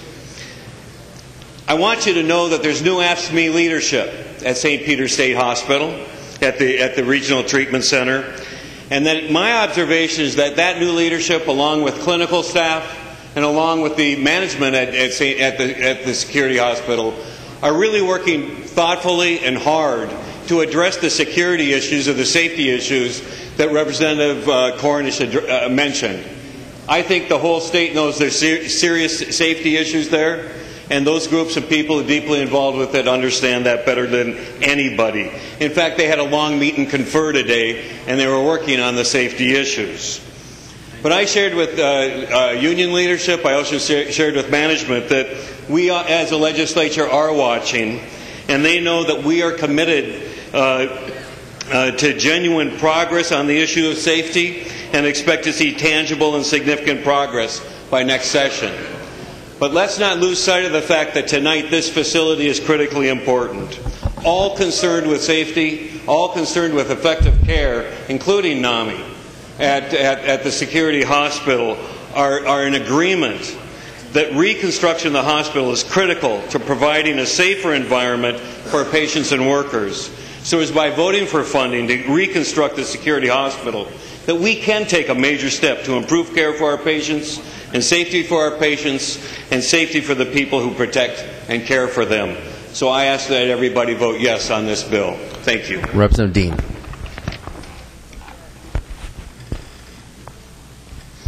Thank you, Mr. Speaker and members. I would like to uh, thank Representative Hausman, especially, and the staff uh, for the Capital Investment Committee, both the uh, partisan and nonpartisan majority and minority staff uh, who work very, very hard on this difficult bill, and all of the committee members on both sides of the aisle uh, that uh, participated in the uh, travels across the state. If you haven't been on the bonding committee before, uh, it's a quite a trip, and I would highly recommend that you uh, put your name on the request for capital investment down the road.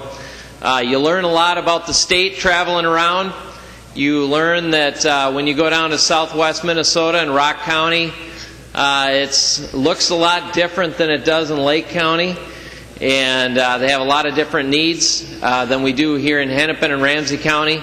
You learn a lot about the state. You also learn a lot about the people who represent all the different corners of the state, and you realize when you travel around that uh, we probably do a whole lot better job representing our districts uh, once you get to see the districts and who represents them and uh, the uh, branch that they sit on in this big tree that we that we represent those districts and.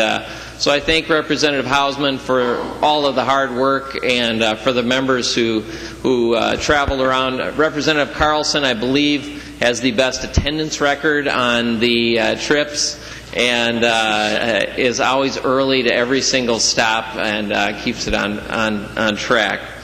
Um, also, I want to uh, acknowledge the why this bill is a little bit different. Uh, we all got one of these in our desks.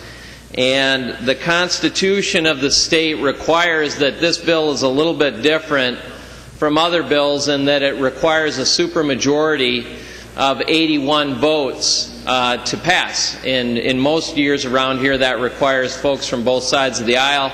And that uh, attracted quite a bit of extra attention this year, as you might, as you might have uh, might have heard in the last few days. And I think that that's something to pay attention to, and just as a, a perhaps a warning for moving forward, we're kind of moving away from that. Uh, we referenced the appropriation bonds that were moving things from the Capital Investment Committee to other committees where you don't require a supermajority vote, you just require a simple majority for an appropriation bond. The best example of that this year was with the Senate office building, uh, that we require only a simple majority to pass all of that $90 million that we're now just borrowing on another credit card. And that's, I think, a bad, a step in the wrong direction uh, to moving things from this bill. And we can, by just a simple majority, decide to not have a supermajority according to uh, the court decision this year. And I think that's a step in the wrong direction uh, from the intent of the Constitution.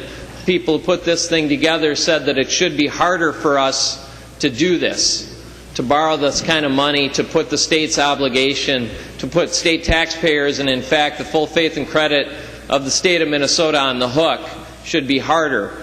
Uh, so that we're moving away from that, and I think that that's something to pay attention to and also to be wary of in the future uh, as we do this. You know, down the road we might we might just say, why even have a bonding bill?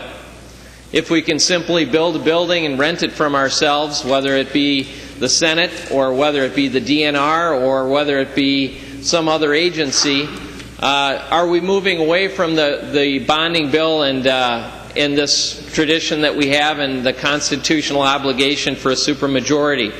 So I think that that's something to pay attention to and for something for down the road uh, that we need to return to rather than move away from.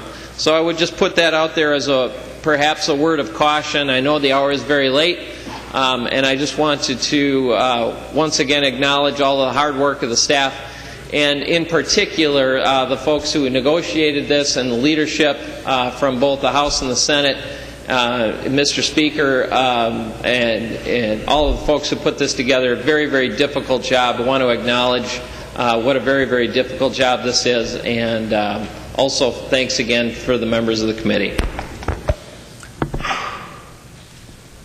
Seeing no further discussion, the clerk will take the roll on the bill.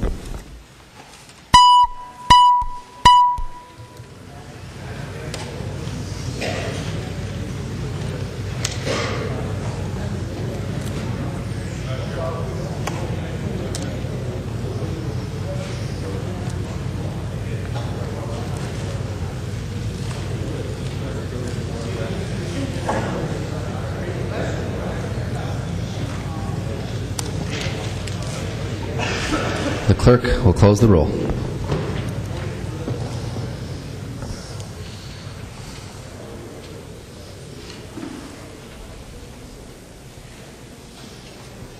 There being 92 ayes and 40 nays, the bill is passed as amended and its title agreed to. The next bill on the calendar for the day is House File 1068. The clerk will report the bill. House File 1068, the third engrossment, an act relating to capital investment. Representative Hausman, there are some amendments at the desk. Uh, the clerk will report the first amendment.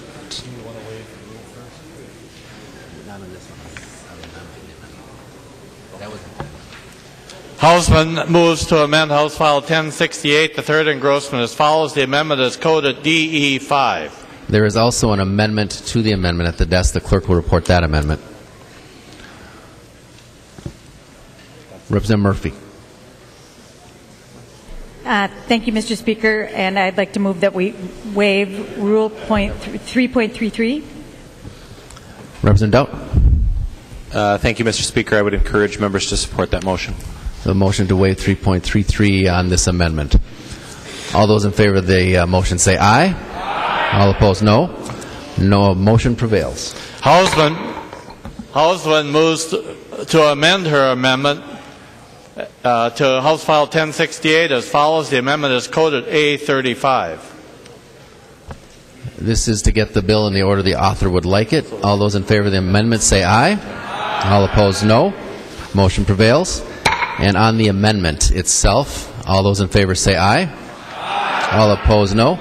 Motion prevails. Representative, uh, the clerk will give the bill its third reading. Third reading, House File 1068 as amended. Third reading. Representative Hausman. And members, just two quick things on this. This is the bill, uh, the cash bill includes the 22 million for uh, Lewis and Clark, and on page 12 of the secondary amendment that we just adopted is some additional language about a water connection in the city of Worthington that's required to sort of get them through this difficult time. And um, in the previous bill was the 20 million public housing. In this one is the uh, 80 million um, uh, pr- housing infrastructure bonds. So you get to vote for it twice. Representative Kahn. Mr. Speaker and members of the House, pursuant to the agreement of no amendments, I withdrew uh, um, the amendment I intended to propose. But it's important enough, and I intend to, of course, pursue it in the next session, that I do think I need to speak to it. And this was um, language that was proposed to this bill, that was actually in this bill as it passed through capital investment and ways and means that specifically applied to state bonding money which is invested in a nonprofit entity not under government control. And what it does is require a public representative to be added to the board of directors of this, either appointed by the government entity or by the um, uh, bonding or by the bonding authority. What this would do is greatly increase the oversight, uh, the oversight and transparency of the issue, and it is, uh, and it wasn't to apply to all bonding projects. It was only for bonding projects over five million, which is uh, remarkably few of the ones. And what this would do in giving more um, oversight and transparency, and we have received some criticism from some local units of government, from the Council of Nonprofits, who I don't believe fully understood the issue, but uh, you know, I'm saying that we should pursue this in future legislative sessions because we should not criticize oversight of public investment in outside entities. It should not be criticized in our age when one of our high values is to seek more transparency and more access.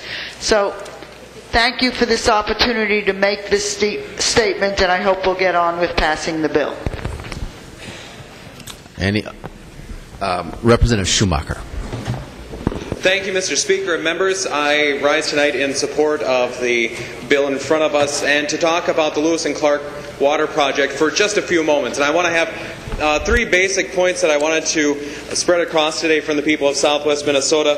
First is that we are dry.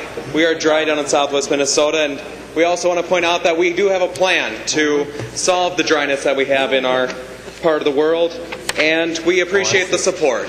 And so we want to pass that along. When we talk about how we're dry, you, all you have to do is look at the names of the counties in our area Rock County, Pipestone County. It, it's very different in that part of the state, and that happened several million years ago.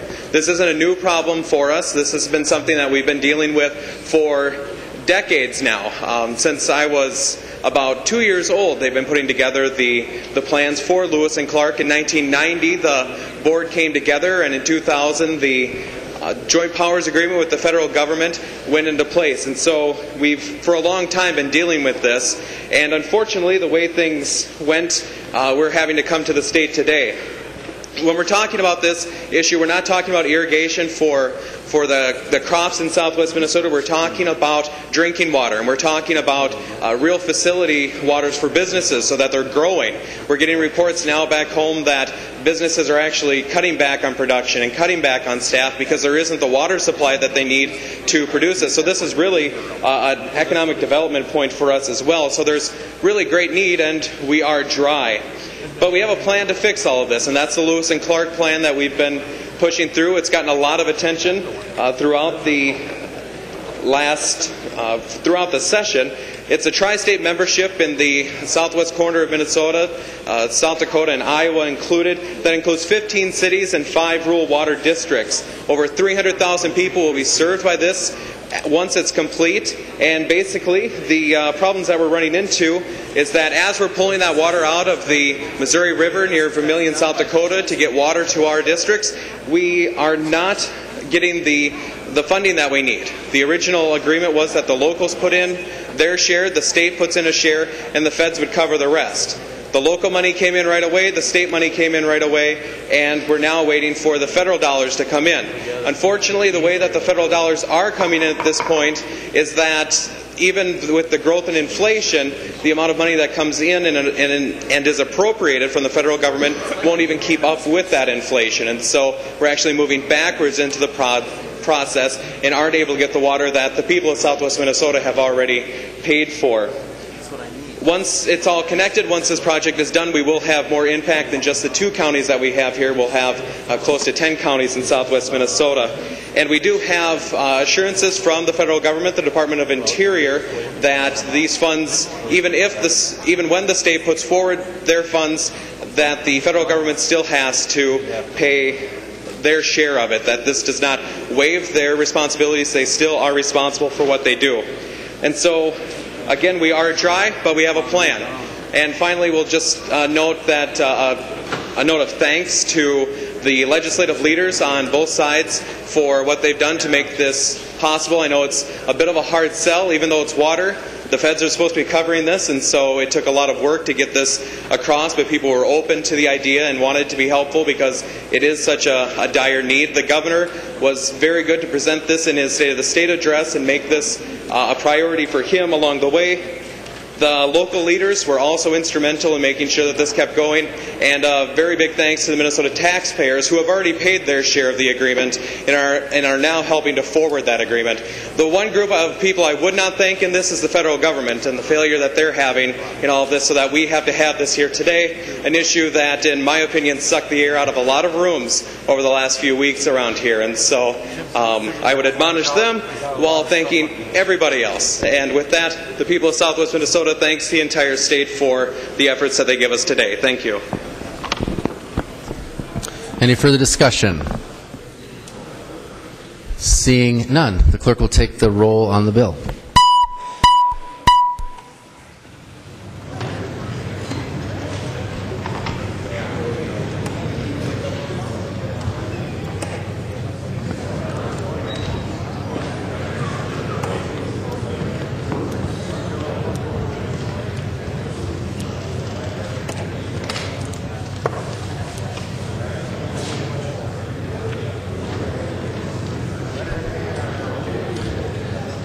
The clerk We'll the roll.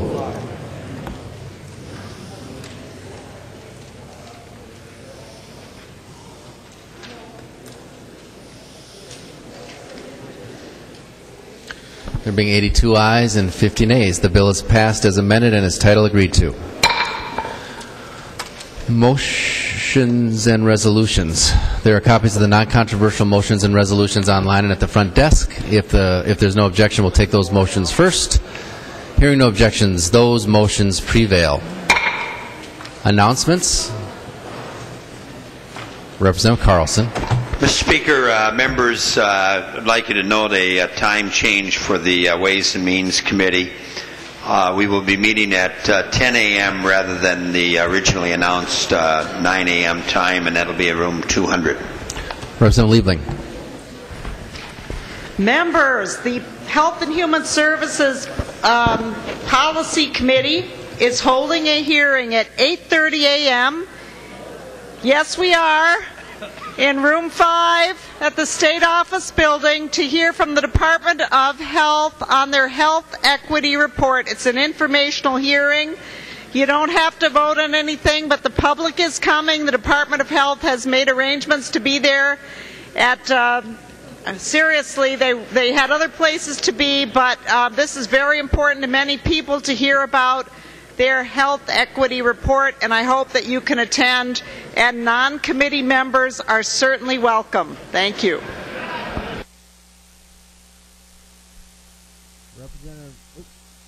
Representative Murphy E.